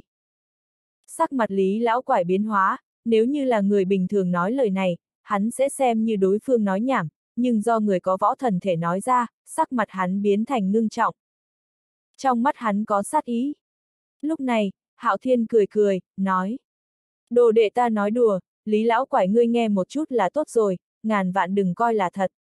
Nếu như ngươi cho là thật, Lão Phu chỉ có thể chơi với ngươi. Lý Lão Quải nhìn An Nam Tĩnh thật sâu, sau đó nói. Mấy vị xin mời. Hạo Thiên nhìn về phía An Nam Tĩnh, An Nam Tĩnh lại nhìn sang Dương Diệp, nói. Ta sẽ cố gắng trở nên mạnh mẽ. Nói xong, nàng đi đến bên cạnh Hạo Thiên. Hạo Thiên liếc mắt nhìn Dương Diệp, nói. Tính tình không tệ, hy vọng lần sau nhìn thấy ngươi, ngươi không có bị đồ đệ của ta bỏ xa. Vừa dứt lời, Hạo Thiên vung tay phải lên, hắn và Vũ Nguyên còn có An Nam Tĩnh biến mất khỏi nơi này. Bên ngoài mấy vạn dặm, Vũ Nguyên truyền âm cho Hạo Thiên, nói. Sư thúc tổ, nếu ngươi cũng tán thành hắn, vì sao không mang hắn về võ tông? Gia hỏa kia tuyệt đối là thiên tài. Ngươi là heo sao? Hạo Thiên truyền âm mắng. Ngươi xem bạch lộc thư viện dễ khi dễ như thế sao? Mang đi nhà đầu kia, chúng ta đã đắc tội pháp phái, nho phái cũng có chút khó chịu, nhưng bọn họ không muốn trở mặt với ta, đặc biệt là nho phái, nhà đầu kia là võ thần thể, bọn họ biết rõ, thích hợp với nàng nhất là võ tông, biết chắc, nếu như không cho ta mang đi, chúng ta nhất định sẽ không từ bỏ ý đồ, cho nên, bọn họ lựa chọn nhường một bước, để cho ta thiếu nợ nhân tình. Nhưng nếu như ta lòng tham mang tiểu tử kia đi, ngươi nói, bọn họ cho phép sao? Vũ Nguyên. Hạo Thiên lại nói. Thật sự ép bọn họ quá mức, chúng ta không xong đâu. Hiện tại Bạch Lộc Thư Viện bởi vì phân liệt không bằng năm đó, nhưng năm đó mạnh mẽ tới mức, cho dù là U Minh Điện cùng tả phái biến thái cũng phải cho bọn họ mặt mũi. Nội tình của bọn họ vẫn còn, bằng không cũng không tồn tại tới bây giờ mà chưa bị người khác chiếm đoạt. Vũ Nguyên cười khổ, hắn thi lễ với Hạo Thiên, nói. Sư điệt thụ giáo. Kỳ thật, tiểu tử kia quả thật không tệ. Đáng tiếc. Bạch Lộc Thư Viện, Dương Diệp nuốt một viên tử tinh thạch, lao đó chậm rãi đứng lên, lúc này, ánh mắt Lý Lão Quải nhìn lên người hắn. Dương Diệp cũng nhìn về phía đối phương, khóe miệng của hắn còn lộ ra nụ cười mỉa mai, nói. Như thế nào, người không định nói cho ta biết còn trận thứ tư chứ? Nếu quả thật còn nữa, ta thật sự chỉ có thể nói, phục ngươi. Tô Sĩ Hà ngăn ở trước mặt Dương Diệp, cùng lúc đó, cường giả nho phái cũng tới trước mặt Dương Diệp, lúc này Dương Diệp cần được bảo hộ trọng điểm. Bởi vì Lý Lão Quải đã hoàn toàn không biết xấu hổ. Dương Diệp nắm chặt tay phải, lão gia hỏa này vô liêm sỉ đã vượt qua hắn tưởng tượng, đối với đối phương, hắn cần bảo trì cảnh giác. Lý Lão Quải nhìn Dương Diệp một lát, sau đó nói. Không thể không nói, người quả thật không tệ. Đáng tiếc, đáng tiếc lão phu cùng từ phạm nhiều lần muốn giết ngươi mà không thể. Dương Diệp cười khẽ, không nói gì, lúc này, nói cái gì cũng không có ý nghĩa. Nhưng hắn biết rõ, pháp phái chắc chắn sẽ không cứ tính toán như vậy. Lúc này, Hàn Dũ đứng dậy, nói. Chư vị, hiện tại tỷ thí cũng đã chấm dứt, lão phu không có ý lưu lại nơi này nữa. Ta cáo từ. Cũng giống võ tông, hắn cũng không có hứng thú quản việc của nho phái và pháp phái. Lâm Nguyệt Âm cũng đứng dậy, nói. Lý tiền bối, vãn bối cũng cáo từ. Chậm đã. Thời điểm đám người Hàn Dũ cùng Thiên Vũ Tông định rời đi, đột nhiên Lý Lão Quải nói. Chư vị, xin chờ một lát. Hàn Dũ quay người nhìn về phía Lý Lão Quải, trong mắt mang theo một tia nghi hoặc. Lý Lão Quải nói. Lần này sở dĩ Pháp phái ta mời các vị tới là muốn mời các vị chứng kiến một sự kiện, cho nên, kính xin chư vị chờ một lát. Hàn Dũ trầm ngâm một lát, sau đó gật đầu, nói. Đã như thế, ta sẽ chờ một lát. Nói xong, hắn một ngồi xuống lần nữa. Hắn cũng muốn nhìn Pháp phái định làm trò quỷ gì. Nhìn thấy Hàn Dũ lưu lại, Lâm Nguyệt Âm do dự nhưng vẫn lưu lại. Lý Lão Quải gật đầu với đám người Hàn Dũ, sau đó xoay người nhìn về phía Tô Sĩ Hà nói. Từ khi Bạch Lộc Thư Viện ta xuất hiện nho phái cùng Pháp phái, địa vị Bạch Lộc Thư Viện chúng ta tại Trung Thổ Thần Châu đã rất xuống ngàn trượng. Vì sao? Bởi vì bên trong Bạch Lộc Thư Viện chúng ta không đoàn kết. Điểm này, nho phái người hiểu, Pháp phái ta cũng hiểu. Sắc mặt Tô Sĩ Hà trầm xuống, nói. Người muốn nói cái gì? Lý Lão Quải nói. Ta muốn nói, hai phái tiếp tục đấu nhau, Bạch Lộc Thư Viện sớm muộn gì cũng bị chúng ta đấu suy bại, khi đó, chỉ sợ Bạch Lộc Thư Viện không còn tư cách dừng chân tại Trung Thổ Thần Châu, chờ Nho phái và Pháp phái chúng ta chính là hủy diệt. Những năm gần đây, Nho phái ta vẫn nhường nhịn, là Pháp phái người càng ngày càng được một tấc lại muốn tiến một thước. Tô Sĩ Hà trầm giọng nói. Lý Lão quải khoát khoát tay, nói. Ai đúng ai sai, không có ý nghĩa gì cả. Ta chỉ muốn nói, nếu như hai phái chúng ta tiếp tục nội giấu cũng chỉ có lưỡng bại câu thương ngươi muốn nói cái gì? Tô sĩ Hà trao mày.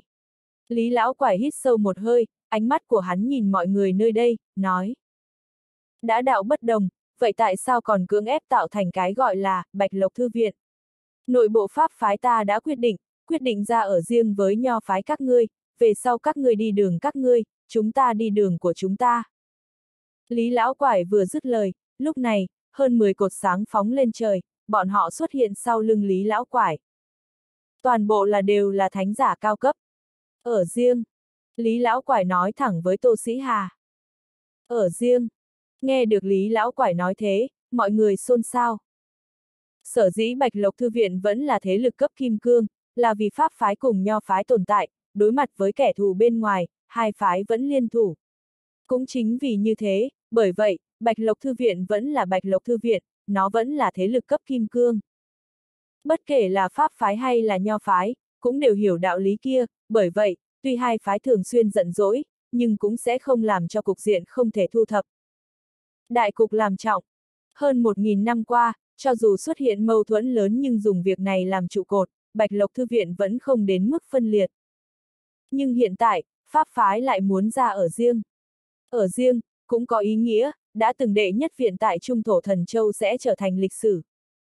Bạch Lộc Thư Viện, thế gian không còn Bạch Lộc Thư Viện. Trên lễ đài, Hàn Dũ khẽ lắc đầu. Một khi ở riêng, Bạch Lộc Thư Viện cũng không còn là Bạch Lộc Thư Viện lúc trước, thậm chí gây chuyện không tốt, còn có thể giáng cấp thành thế lực Bạch Kim. Bên cạnh, Dương Diệp quét nhìn quanh, sau đó hắn bắt đầu chữa thương.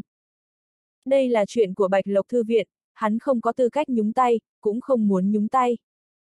Xa xa, Tô Sĩ Hà nhìn Lý Lão Quải hồi lâu, cuối cùng khẽ lắc đầu, nói. Kỳ thật, nho phái ta cũng sớm đã đoán được ngày này sẽ tới, chỉ không nghĩ tới các ngươi lại nói ra vào hôm nay. Ngươi đã dám nói ra ở riêng, nghĩ đến các lão tổ pháp phái các ngươi đã đáp ứng, hoặc hứa mặc thừa nhận việc này. Cho nên, việc này đã thành kết cục đã định.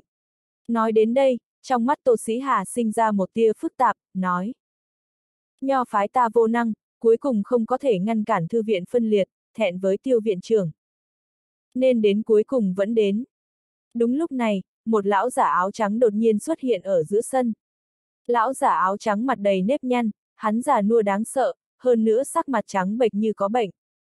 Tiêu sư, nhìn thấy lão giả áo trắng, Tô Sĩ Hà vội vàng nghênh đón, nói. Ngài đi ra. Đã muốn ở riêng, ta còn có đầu rụt cổ làm gì? Lão giả áo trắng khoát khoát tay, sau đó ánh mắt nhìn sang Dương Diệp, nói. Ngươi chính là Dương Diệp. Dương Diệp gật gật đầu, nói. Tiền bối là. Lão Phu Tiêu Biệt Ly, viện trưởng trên danh nghĩa của Bạch Lộc Thư Viện. Lão giả áo trắng mỉm cười, nói. Ngươi rất không tồi. Nói xong, Tiêu Biệt Ly quay người nhìn về phía Lý Lão Quải, nói. Đã muốn ở riêng, vậy thì nói rõ phải phân thế nào. Nho phái các ngươi rời khỏi bạch lộ giới. Lý Lão Quải nói. Chê cười, dựa vào cái gì? Tiêu biệt ly còn chưa nói chuyện, Tô Sĩ Hà tức giận nói. Dựa vào cái gì không phải pháp phái các ngươi rời khỏi bạch lộ giới. Những năm gần đây, nho phái ta nhường nhìn pháp phái các ngươi, đây là vì đại cục, ngươi đừng tưởng rằng nho phái sợ pháp phái. Đúng đấy, dựa vào cái gì nho phái rời khỏi bạch lộ giới? Dựa vào cái gì? Bọn họ sớm không vừa mắt người pháp phái từ lâu rồi. Quả nhiên pháp phái dụng tâm ngoan độc, vậy mà muốn đuổi nho phái ta ra khỏi bạch lộ giới, không có bạch lộ giới làm căn cơ, chẳng phải nho phái chúng ta còn không bằng thế lực cấp bạch kim.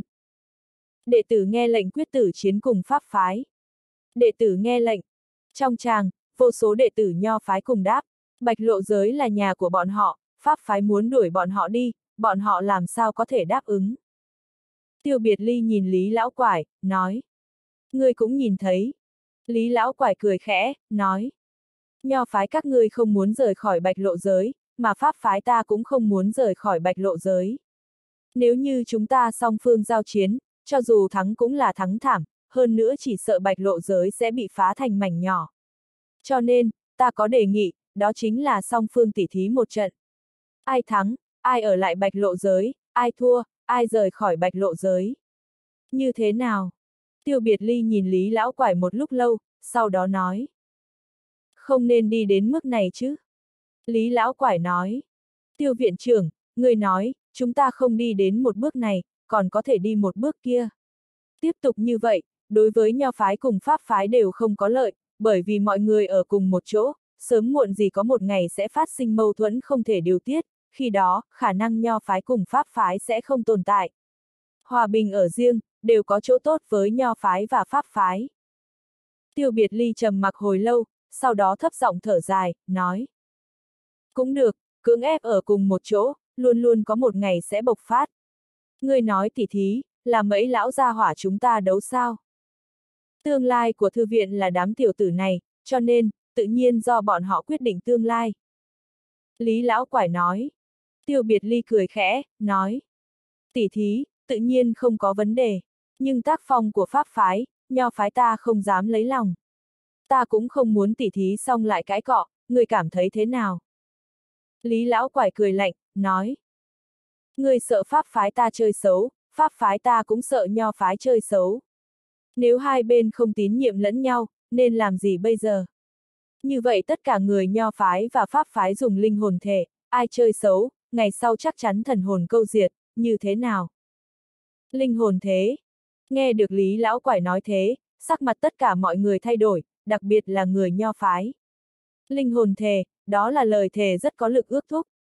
Vi phạm lời thề, ngày sau không nhất định thần hồn câu diệt, nhưng tuyệt đối sẽ sinh sôi tâm ma. Bình thường khá tốt, một khi trùng kích thánh giả sẽ có tâm ma, đặc biệt người dùng linh hồn thề mà sinh sôi tâm ma tuyệt đối sẽ thập tử vô sinh. Mà những người thành thánh càng sợ linh hồn thế, bởi vì bọn họ phi thường rõ ràng sự đáng sợ của tâm ma, nó giống như ác mộng quấn quyết lấy người. Cho nên, gần như không có người nào vi phạm linh hồn thề.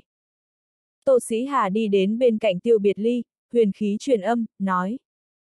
Tiêu sư, việc này có chút quỷ dị, cần cẩn thận.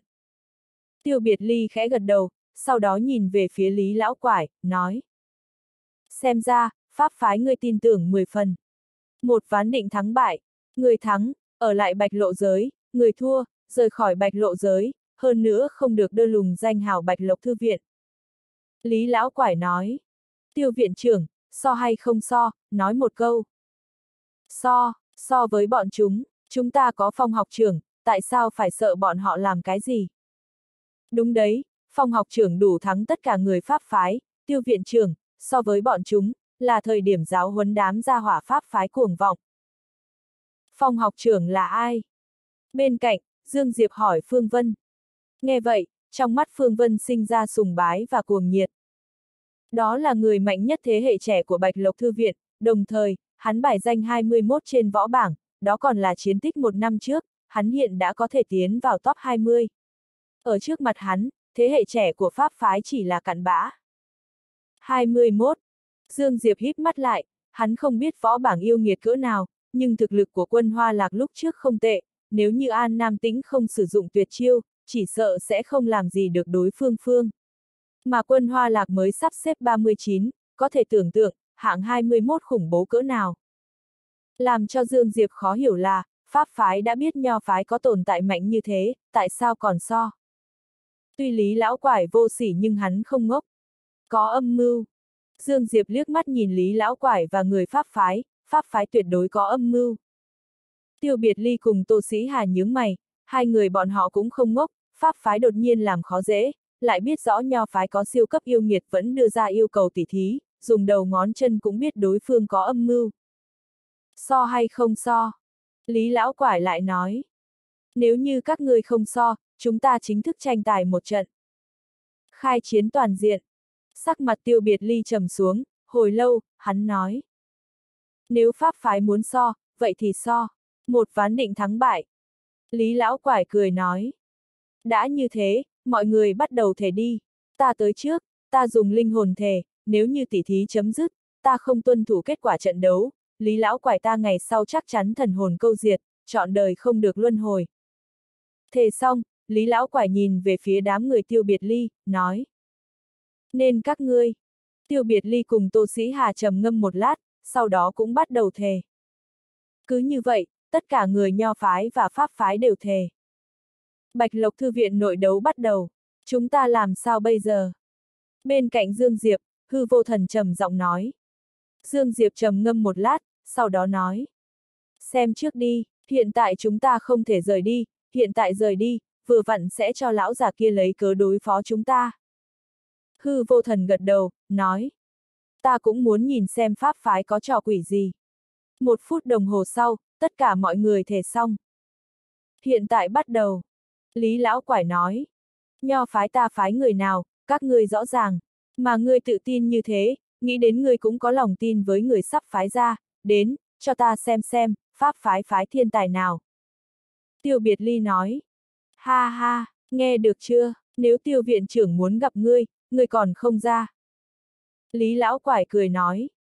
Lý lão quải dứt lời, một bóng người áo xanh xuất hiện. Phong khinh ý. Nhìn thấy nam tử này, tất cả mọi người nho phái đều sửng sốt. Sau một khắc, sắc mặt người nho phái đều khó nhìn. Nam tử kia nói. Nho phái, trừ tiêu viện trưởng ra, bất cứ kẻ nào cũng có thể tới, nhân số không hạn chế. Trừ tiêu viện trưởng ra, bất cứ kẻ nào. Nói cách khác, ngay cả Tô Sĩ Hà cũng có thể lên. Cuồng, phi thường cuồng. Đây là suy nghĩ của Dương Diệp cùng hư vô thần. Ánh mắt Dương Diệp lại nhìn lên người Phong khinh ý, Phong khinh ý khoảng 20 tuổi, mặc một bộ thanh sam, tóc dài cột sau lưng giống như đuôi ngựa. Tay trái thả lỏng phía sau, tay phải cầm ngọc tiêu, hắn lộ ra khí chất giống như thư sinh. Bất phàm. Đây là cảm giác của Dương Diệp, nam tử trước mắt rất bất phàm, ít nhất còn cao hơn lâu thiên tiêu vài cấp bậc. Lúc này, người nho phái bùng nổ. Làm sao có thể, phong học trưởng làm sao có thể giúp pháp phái, làm sao có thể, nhất định là pháp phái buộc hắn, nhất định là như vậy. Pháp phái, các ngươi vô sỉ. Âm mưu, đây là âm mưu của pháp phái, phong học trưởng nhất định bị bọn họ áp chế. Phong học trưởng, người nói có đúng hay không, người bị đám pháp phái vô sỉ ép buộc đúng không? Ngươi nói đi. Vì cái gì? Tiêu biệt ly nhìn phong khinh ý, lại nói. Vì cái gì? Phong khinh ý nhìn thẳng tiêu biệt ly, nói. Một người làm việc, tất nhiên có lý do và nguyên nhân, ta tự nhiên cũng có, nói ra cũng không có ý nghĩa. khinh ý, nho phái ta bạc đãi ngươi sao? Có từng làm chuyện xin lỗi ngươi? Tô sĩ Hà trầm giọng nói. Phong khinh ý khẽ lắc đầu, nói. Không có nho phái dốc tài nguyên bồi dưỡng ta, khó có thành tựu của ta hôm nay. Vậy tại sao ngươi làm như vậy? Tô sĩ Hà giận dữ hét. Ngươi cũng biết, một khi nho phái chúng ta rời khỏi bạch lộ giới, kết cục sẽ như thế nào? Một khi chúng ta rời khỏi bạch lộ giới, không có nơi cư trú, từ nay về sau, nho phái trở thành chó nhà có tang, ngươi, ngươi cũng đã biết. Phong khinh ý gật đầu, nói. Biết rõ. Vậy tại sao ngươi làm như vậy? Tô Sĩ Hà chỉ vào những học viên nho phái xa xa, hắn giống lên. Bọn họ xem ngươi như thần, ta và tiêu viện trưởng bồi dưỡng ngươi thành viện trưởng kế tiếp, vì sao ngươi đối đãi với chúng ta như vậy? Chim khôn biết chọn cành mà đậu. Lúc này, Lý Lão Quải đột nhiên cười nói. Bởi vì hắn cho rằng đi theo nho phái không có tiền đồ, bởi vậy đi theo pháp phái ta, điều này chẳng lẽ có sai sao? Tiêu viện trưởng, những năm gần đây, nho phái các ngươi làm việc không quả quyết, không chỉ làm ta xem thường, ngay cả thế lực khác tại Trung Thổ Thần Châu cũng xem thường. Bạch Lộc Thư Viện trong tay các ngươi, sớm muộn gì cũng bị các ngươi phá hủy. Đơn giản đi theo pháp phái ta, đây là cử chỉ sáng suốt, bởi vì chỉ có pháp phái ta mới có thể tái hiện huy hoàng của Bạch Lộc Thư Viện năm đó. Câm miệng. Tô Sĩ Hà phẫn nộ quát. Lý Lão Quải, nhẹ kinh ý bị pháp phái các ngươi đe dọa. Bằng không, với tính cách của hắn sẽ không làm như thế. Lý Lão Quải cười lạnh một tiếng, nói. Ngươi có thể hỏi hắn, xem pháp phái ta có uy hiếp hắn hay không.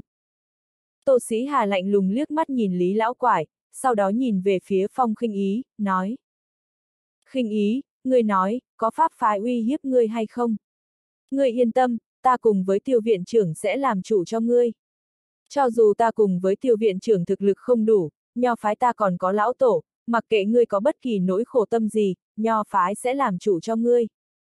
Phong khinh ý trầm mặc một lát, sau đó khẽ lắc đầu, nói. Không có người uy hiếp ta. Tô sĩ Hà lập tức chán nản, đang muốn nói chuyện, tiêu biệt ly lại ngăn cản hắn. Tiêu biệt ly nhìn về phía Lý Lão Quải, nói. Không thể không nói, pháp phái ngươi lần này đánh cờ rất cao. Xem ra, các ngươi vì việc này mà mưu đồ thật lâu. Hôm nay, các ngươi và Vân Hải Thư viện thi đấu là giả, làm khó dễ nho phái mới là thật. Ta cảm thấy, nói nhảm không cần nói nhiều làm gì. Lý Lão Quải nói, Pháp phái ta đã phái người đứng ra, kế tiếp, nho phái nên phái người đứng ra đi. Tiêu biệt ly nắm chặt hai tay, cả nho phái lâm vào yên lặng. Phong khinh ý là người mạnh nhất thế hệ trẻ của nho phái, cũng là mạnh nhất thế hệ trẻ của cả Bạch Lộc Thư Viện. Hắn đã từng một mình chấn áp pháp phái không thở nổi. Đồng thời, hắn xếp hạng 21 võ bảng. Có thể nói, cả Bạch Lộc Thư Viện, trừ hai vị nửa bước đế giả ra, không ai nắm chắc thắng hắn. Ngay cả Tô Sĩ Hà cũng không có một chút nắm chắc. Sắc mặt Tô Sĩ Hà âm trầm, hai tay nắm chặt, hắn không biết nên phái ai xuất chiến. Tô Thủ tịch, ta đến. Lúc này, đột nhiên Phương Vân đi đến bên cạnh Tô Sĩ Hà, nói. Cho dù nho phái ta thua, cũng phải thua có thể diện, cũng phải thua có cốt khí. Đúng, nho phái ta cho dù thua cũng phải thua có cốt khí, tô thủ tịch, dùng thân phận của ngươi, sao có thể đấu với tiểu bối. Để cho ta tới. Để cho ta tới, ta không dám cam đoan sẽ thắng, nhưng ta dám cam đoan nhất định sẽ không ném mặt mũi nho phái chúng ta. Trước kia vẫn muốn lãnh giáo phong học trường, hôm nay cơ hội cho ta tới đi. Vô số đệ tử nho phái muốn đấu với phong khinh ý. Im miệng. Đúng lúc này, Tô Sĩ Hà phẫn nộ quát. Một trận chiến này, quan hệ không chỉ vinh nhục của chúng ta, càng quan hệ đến tương lai của nho phái, lòn có tương lai bạch lộc thư viện chúng ta. Chúng ta có thể thua sao? Không, chúng ta không thể thua, càng thua không nổi. Cho nên ngươi ích muốn đánh. Lý lão quải cười lạnh nói. Tô Sĩ Hà, ngươi phải hiểu, nếu như ngươi thua, không chỉ ngươi mất mặt, còn cả nho phái cũng mất mặt. Đến lúc đó, các ngươi rời khỏi bạch lộ giới sẽ trở thành chó nhà có tang, cũng thành trò cười cho cả trung thổ thần châu. Tô Sĩ Hà đang muốn nói chuyện, lúc này, Tiêu Ly biệt nói. Sĩ Hà, mọi người nói đúng, cho dù nho phái chúng ta thua cũng thua có cốt khí. Ngươi là trưởng bối, mặc kệ phong khinh ý thực lực như thế nào, người giao thủ với hắn là lấy lớn hiếp nhỏ. Hơn nữa, chiến đấu với vãn bối, người ra tay thế nào? Vẫn là tiêu viện trưởng hiểu lý lẽ. Lý lão quải cười nói. Nói thực ra, dùng thực lực của khinh ý, tại Bạch Lộc Thư viện này, trừ ta ngươi, trong thế hệ trẻ vẫn có người là đối thủ của hắn. Ngươi nói như vậy, ta ngược lại rất hiếu kỳ. Tiêu biệt ly nói. Lý lão quải cười hắc hắc, sau đó chỉ vào Dương Diệp, nói. Chẳng lẽ các ngươi quên hắn? Lúc trước hắn thế dùng một kiếm chém giết từ phạm đấy. Từ phạm là ai? Đây chính là thủ tịch pháp phái ta, thực lực không kém Tô Sĩ Hà. Các ngươi bảo hắn tỉ thí, nói không chừng hắn sẽ thắng đấy. Hắn nói xong lời cuối cùng, trong mắt Lý Lão Quải đã mang theo ý hung ác. Nghe được Lý Lão Quải nói thế, ánh mắt tất cả mọi người đều nhìn về Dương Diệp. Sắc mặt Dương Diệp trầm xuống, bởi vì Lý Lão Quải này muốn mượn đao giết người. Hiện tại hắn và Pháp Phái đã kết thúc tỉ thí, Pháp Phái muốn tự mình giết hắn phải đối mặt với cả Nho Phái, đây nhất định không dễ dàng. Nhưng nếu như hắn lại đi ra tỉ thí, như vậy bọn họ có thể mượn nam tử phong khinh ý giết hắn. Dương Diệp nhìn về phía Lý Lão Quải, đối phương đang nhìn hắn, trong mắt đối phương bộc phát sát ý không chút che giấu. Lão cẩu này muốn hắn chết. Sắc mặt Dương Diệp âm trầm. Nho phái nhìn Dương Diệp, ánh mắt bọn họ sáng lên, bọn họ vẫn chưa quên việc Dương Diệp chém giết từ phạm. Thực lực từ phạm không kém gì Tô Sĩ Hà, nói cách khác, thực lực Dương Diệp đã siêu việt Tô Sĩ Hà. Cho hắn giao thủ với phong khinh ý, nói không chừng sẽ có cơ hội. Không được. Lúc này, tiêu biệt ly trầm giọng nói. Dương Diệp sẽ không tỉ thí với phong khinh ý. Nho phái đã không có phong khinh ý, không thể không có Dương Diệp, có thể nói, Dương Diệp chính là trụ cột tương lai của Nho phái. Lý Lão Quải không chỉ có muốn giết Dương Diệp báo thù, còn muốn đoạn tuyệt tương lai của Nho phái. Lý Lão Quải cười lạnh một tiếng, hắn không có để ý tiêu biệt ly, mà là nhìn về phía Dương Diệp, nói. Dương Diệp, Vân Hải Thư viện của ngươi ngày sau có thể bình an vô sự hay không, chủ yếu phải xem nho phái. Mà nếu như lần này nho phái thua, nho phái sẽ phải trở thành chó nhà có tang. Khi đó, nho phái không lo được cho mình, còn có năng lực bảo hộ Vân Hải Thư viện. So sánh với nhau, người cần phải hiểu rõ. Uy hiếp. Cầm Vân Hải Thư viện uy hiếp. Tiêu Biệt Ly đang muốn nói chuyện, lúc này, đột nhiên Dương Diệp đứng lên, nói. Tiêu viện trưởng, xem ra, cuộc tỉ thí này ta không tham gia không được. Dương Diệp, người yên tâm, chỉ cần nho phái ta vẫn còn một ngày, sẽ không có ai ra tay với Vân Hải Thư Viện. Tiêu biệt ly trầm giọng nói. Khi đó, bản thân các ngươi cũng khó bảo vệ. Lý Lão Quải lạnh lùng nói. Dương Diệp nhìn về phía Lý Lão Quải, cười nói. Ngươi nói nhiều như vậy, đơn giản chính là hy vọng ta tỉ thí với hắn, khi đó hắn sẽ giết ta, đúng không? Đúng thì như thế nào? Lý Lão Quải lạnh lùng nói.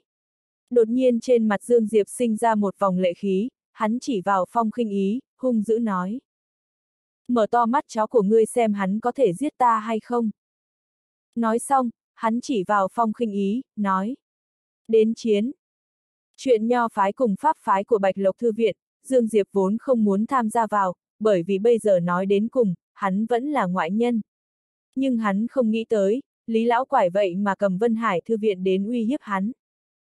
Đứng ra, không phải xúc động, mà là vì Lý Lão Quải nói làm hắn ý thức được, nếu nho phái bị đuổi ra khỏi bạch lộ giới, khi đó nho phái có năng lực chú ý tới Vân Hải Thư Viện. Không, như Lý Lão Quải nói, khi đó nho phái còn khó bảo toàn chính mình. Nếu như nho phái còn có người, hắn sẽ không ra, nhưng lúc này thế hệ trẻ của nho phái không còn ai. Vân Hải Thư Viện cùng nho phái bây giờ nhất vinh câu vinh, nhất tổn câu tổn. Nhìn thấy Dương Diệp đứng ra, Tô Sĩ Hà biến sắc, hắn muốn ngăn cản Dương Diệp, lúc này, Lý Lão quải lại cười. Nói, tốt, Dương Diệp, người có gan, ha ha. Hắn vung tay lên, một võ đài xuất hiện trước mặt Dương Diệp. Bắt đầu chứ. Phong khinh ý liếc mắt nhìn Dương Diệp, hắn xuất hiện trên võ đài. Dương Diệp đang muốn đi lên, lúc này, Tiêu Biệt Ly nói. Người cũng biết thực lực của hắn. Không biết.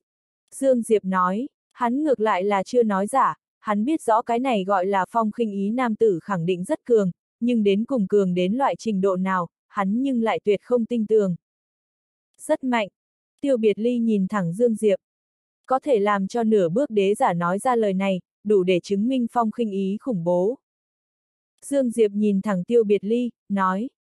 Nếu có người thích hợp hơn ta, ta nguyện ý nhường cơ hội này. Tiêu biệt ly nhìn Dương Diệp hồi lâu, sau đó nói. Mặc kệ kết quả như thế nào, ta đáp ứng ngươi, chuyện Vân Hải Thư Viện chính là chuyện của tiêu biệt ly ta, chỉ cần có người không sợ một vị bán đế điên cuồng trả thù, hắn có thể đối phó Vân Hải Thư Viện. Lời này, hiển nhiên là nhằm vào pháp phái. Bên cạnh, Lý Lão Quải cười lạnh một tiếng, nhưng lại không nói gì. Đa tạ. Dương Diệp nói, có một vị bán đế tọa chấn, bất cứ kẻ nào muốn động Vân Hải Thư Viện cũng phải nghĩ kỹ. Dương Diệp không nói chuyện, thân hình khẽ động, hắn xuất hiện trên võ đài, hắn vừa xuất hiện, Lý Lão Quải vẫy tay một cái, Dương Diệp cùng Phong khinh ý tiến vào chiến trường hư không. Ra tay đi. Phong khinh ý nói. Dương Diệp phất tay, man thần kiếm xuất hiện trong tay, sau một khắc, hắn biến mất và xuất hiện trên đỉnh đầu Phong khinh ý. Dương Diệp cầm chặt man thần kiếm bổ mạnh xuống dưới. Ngay thời điểm man thần kiếm sắp chém vào đỉnh đầu Phong khinh ý, một căn ngọc tiêu màu xanh đánh vào mũi kiếm của Dương Diệp. Phanh! Man thần kiếm run động mạnh, man thần kiếm và ngọc tiêu va chạm làm không gian dạn nứt. Yên lặng một chớp mắt, phong khinh ý xoay tròn ngọc tiêu. Keng! Nương theo âm thanh thanh thúy, Dương Diệp lui gần trăm trượng. Trong tay hắn, man thần kiếm đang run, hơn nữa thân kiếm còn xuất hiện vết dạn nứt. Lực lượng không tệ, khống chế lực lượng cũng còn có thể, thực lực của ngươi đã có thể lên võ bảng. Phong khinh ý nói. Dương Diệp nhìn man thần kiếm trong tay, trầm ngâm một chớp mắt, hắn thu hồi man thần kiếm, nói. Đến, cho ta xem võ bảng vài danh 21 mạnh bao nhiêu. Oanh! Trong cơ thể Dương Diệp bộc phát một cột máu tươi, một thanh huyết kiếm xuất hiện trong tay hắn. Sau một khắc, Dương Diệp hóa thành kiếm quang đỏ rực bay thẳng về phía phong khinh ý. Nhìn kiếm quang kia, phong khinh ý trầm ngâm một chớp mắt, sau một khắc, hắn hóa thành kiếm quang màu xanh bay lên trời, sau đó va chạm với kiếm quang huyết sắc. Oanh! Hư không rung động rất mạnh, vô số khí lãng màu xanh và màu đỏ khuếch tán ra chung quanh, những nơi hai chủng khí lưu kinh khủng này đi qua, không gian trong chiến trường hư không trực tiếp dạn nứt, không đến nửa giây, mọi người nhìn thấy chiến trường hư không dạn nứt. Rất nhanh, trong khí lãng vô tận đó xuất hiện kiếm quang huyết sắc và khí lưu màu xanh va chạm với nhau. Khi hai chủng năng lượng không ngừng va chạm vào nhau, không ngừng phá hư không gian, cảnh tượng đáng sợ giống như diệt thế. Không chỉ có chiến trường hư không, ngay cả không gian bên ngoài chiến trường.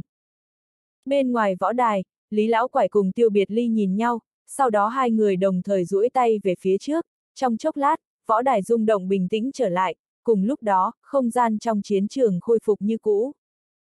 Trong chiến trường hư không, mọi người nhìn thấy huyết quang và ánh sáng màu xanh vẫn dây dưa nhau. Từ khi hai người giao thủ tới bây giờ đã gần nửa canh giờ. Tất cả mọi người cũng không nghĩ tới Dương Diệp lại có thể đánh với phong khinh ý nửa canh giờ. Hơn nữa Dương Diệp chỉ là bán thánh. Trong mắt người nho phái đã xuất hiện hưng phấn cùng chờ mong, đúng, lúc này bọn họ nhìn thấy hy vọng. Dương Diệp còn mạnh hơn bọn họ tưởng tượng, mạnh đến mức có thể chống lại phong khinh ý. Trái lại, sắc mặt người Pháp phái trầm xuống, đồng thời, bọn họ cũng không nghĩ tới Dương Diệp lại khủng bố như vậy, hắn có thể chống lại phong khinh ý. Nhưng Lý Lão Quải rất bình tĩnh, hắn còn nở nụ cười lạnh. Dương Diệp này, vậy mà có thể chống lại phong khinh ý. Hơn nữa hắn chỉ có thực lực bán thánh. Chật chật. Trên lễ đài, trong mắt Hàn Dù sinh ra hứng thú. Cách đó không xa, Thiên Vũ Tông Lâm Nguyệt Âm lại khiếp sợ, nàng biết rõ Dương Diệp rất lợi hại, cũng tự thể nghiệm qua hắn lợi hại, nhưng nàng thật không ngờ Dương Diệp lại có thể chống lại phong khinh ý, hơn nữa hắn chỉ có thực lực bán thánh. Có thể nói, dùng thực lực của Dương Diệp, hắn hoàn toàn có thể dung nhập võ bảng. trầm ngâm một lát, nàng quay người nhìn về phía hiểu vũ tịch, nói. Vũ tịch, người thật sự là thê tử của hắn. Hiểu vũ tịch cau mày, lúc này, Lâm Nguyệt Âm lại nói. Người cũng biết, trí nhớ của mình đã mất đi, nói cách khác, trước khi mất trí nhớ, ngươi là thê tử của hắn. Ngươi muốn nói cái gì? Hiểu Vũ Tịch nói. Lâm Nguyệt Âm nói. Vũ Tịch, ngươi nên biết, Mạc Vân Thiên không đơn thuần là đệ tử Bạch Lộc Thư Viện, hắn còn là đệ tử Mạc Gia trong bốn đại gia tộc. Ta thừa nhận, Dương Diệp quả thật không tệ, nhưng không tệ thì thế nào?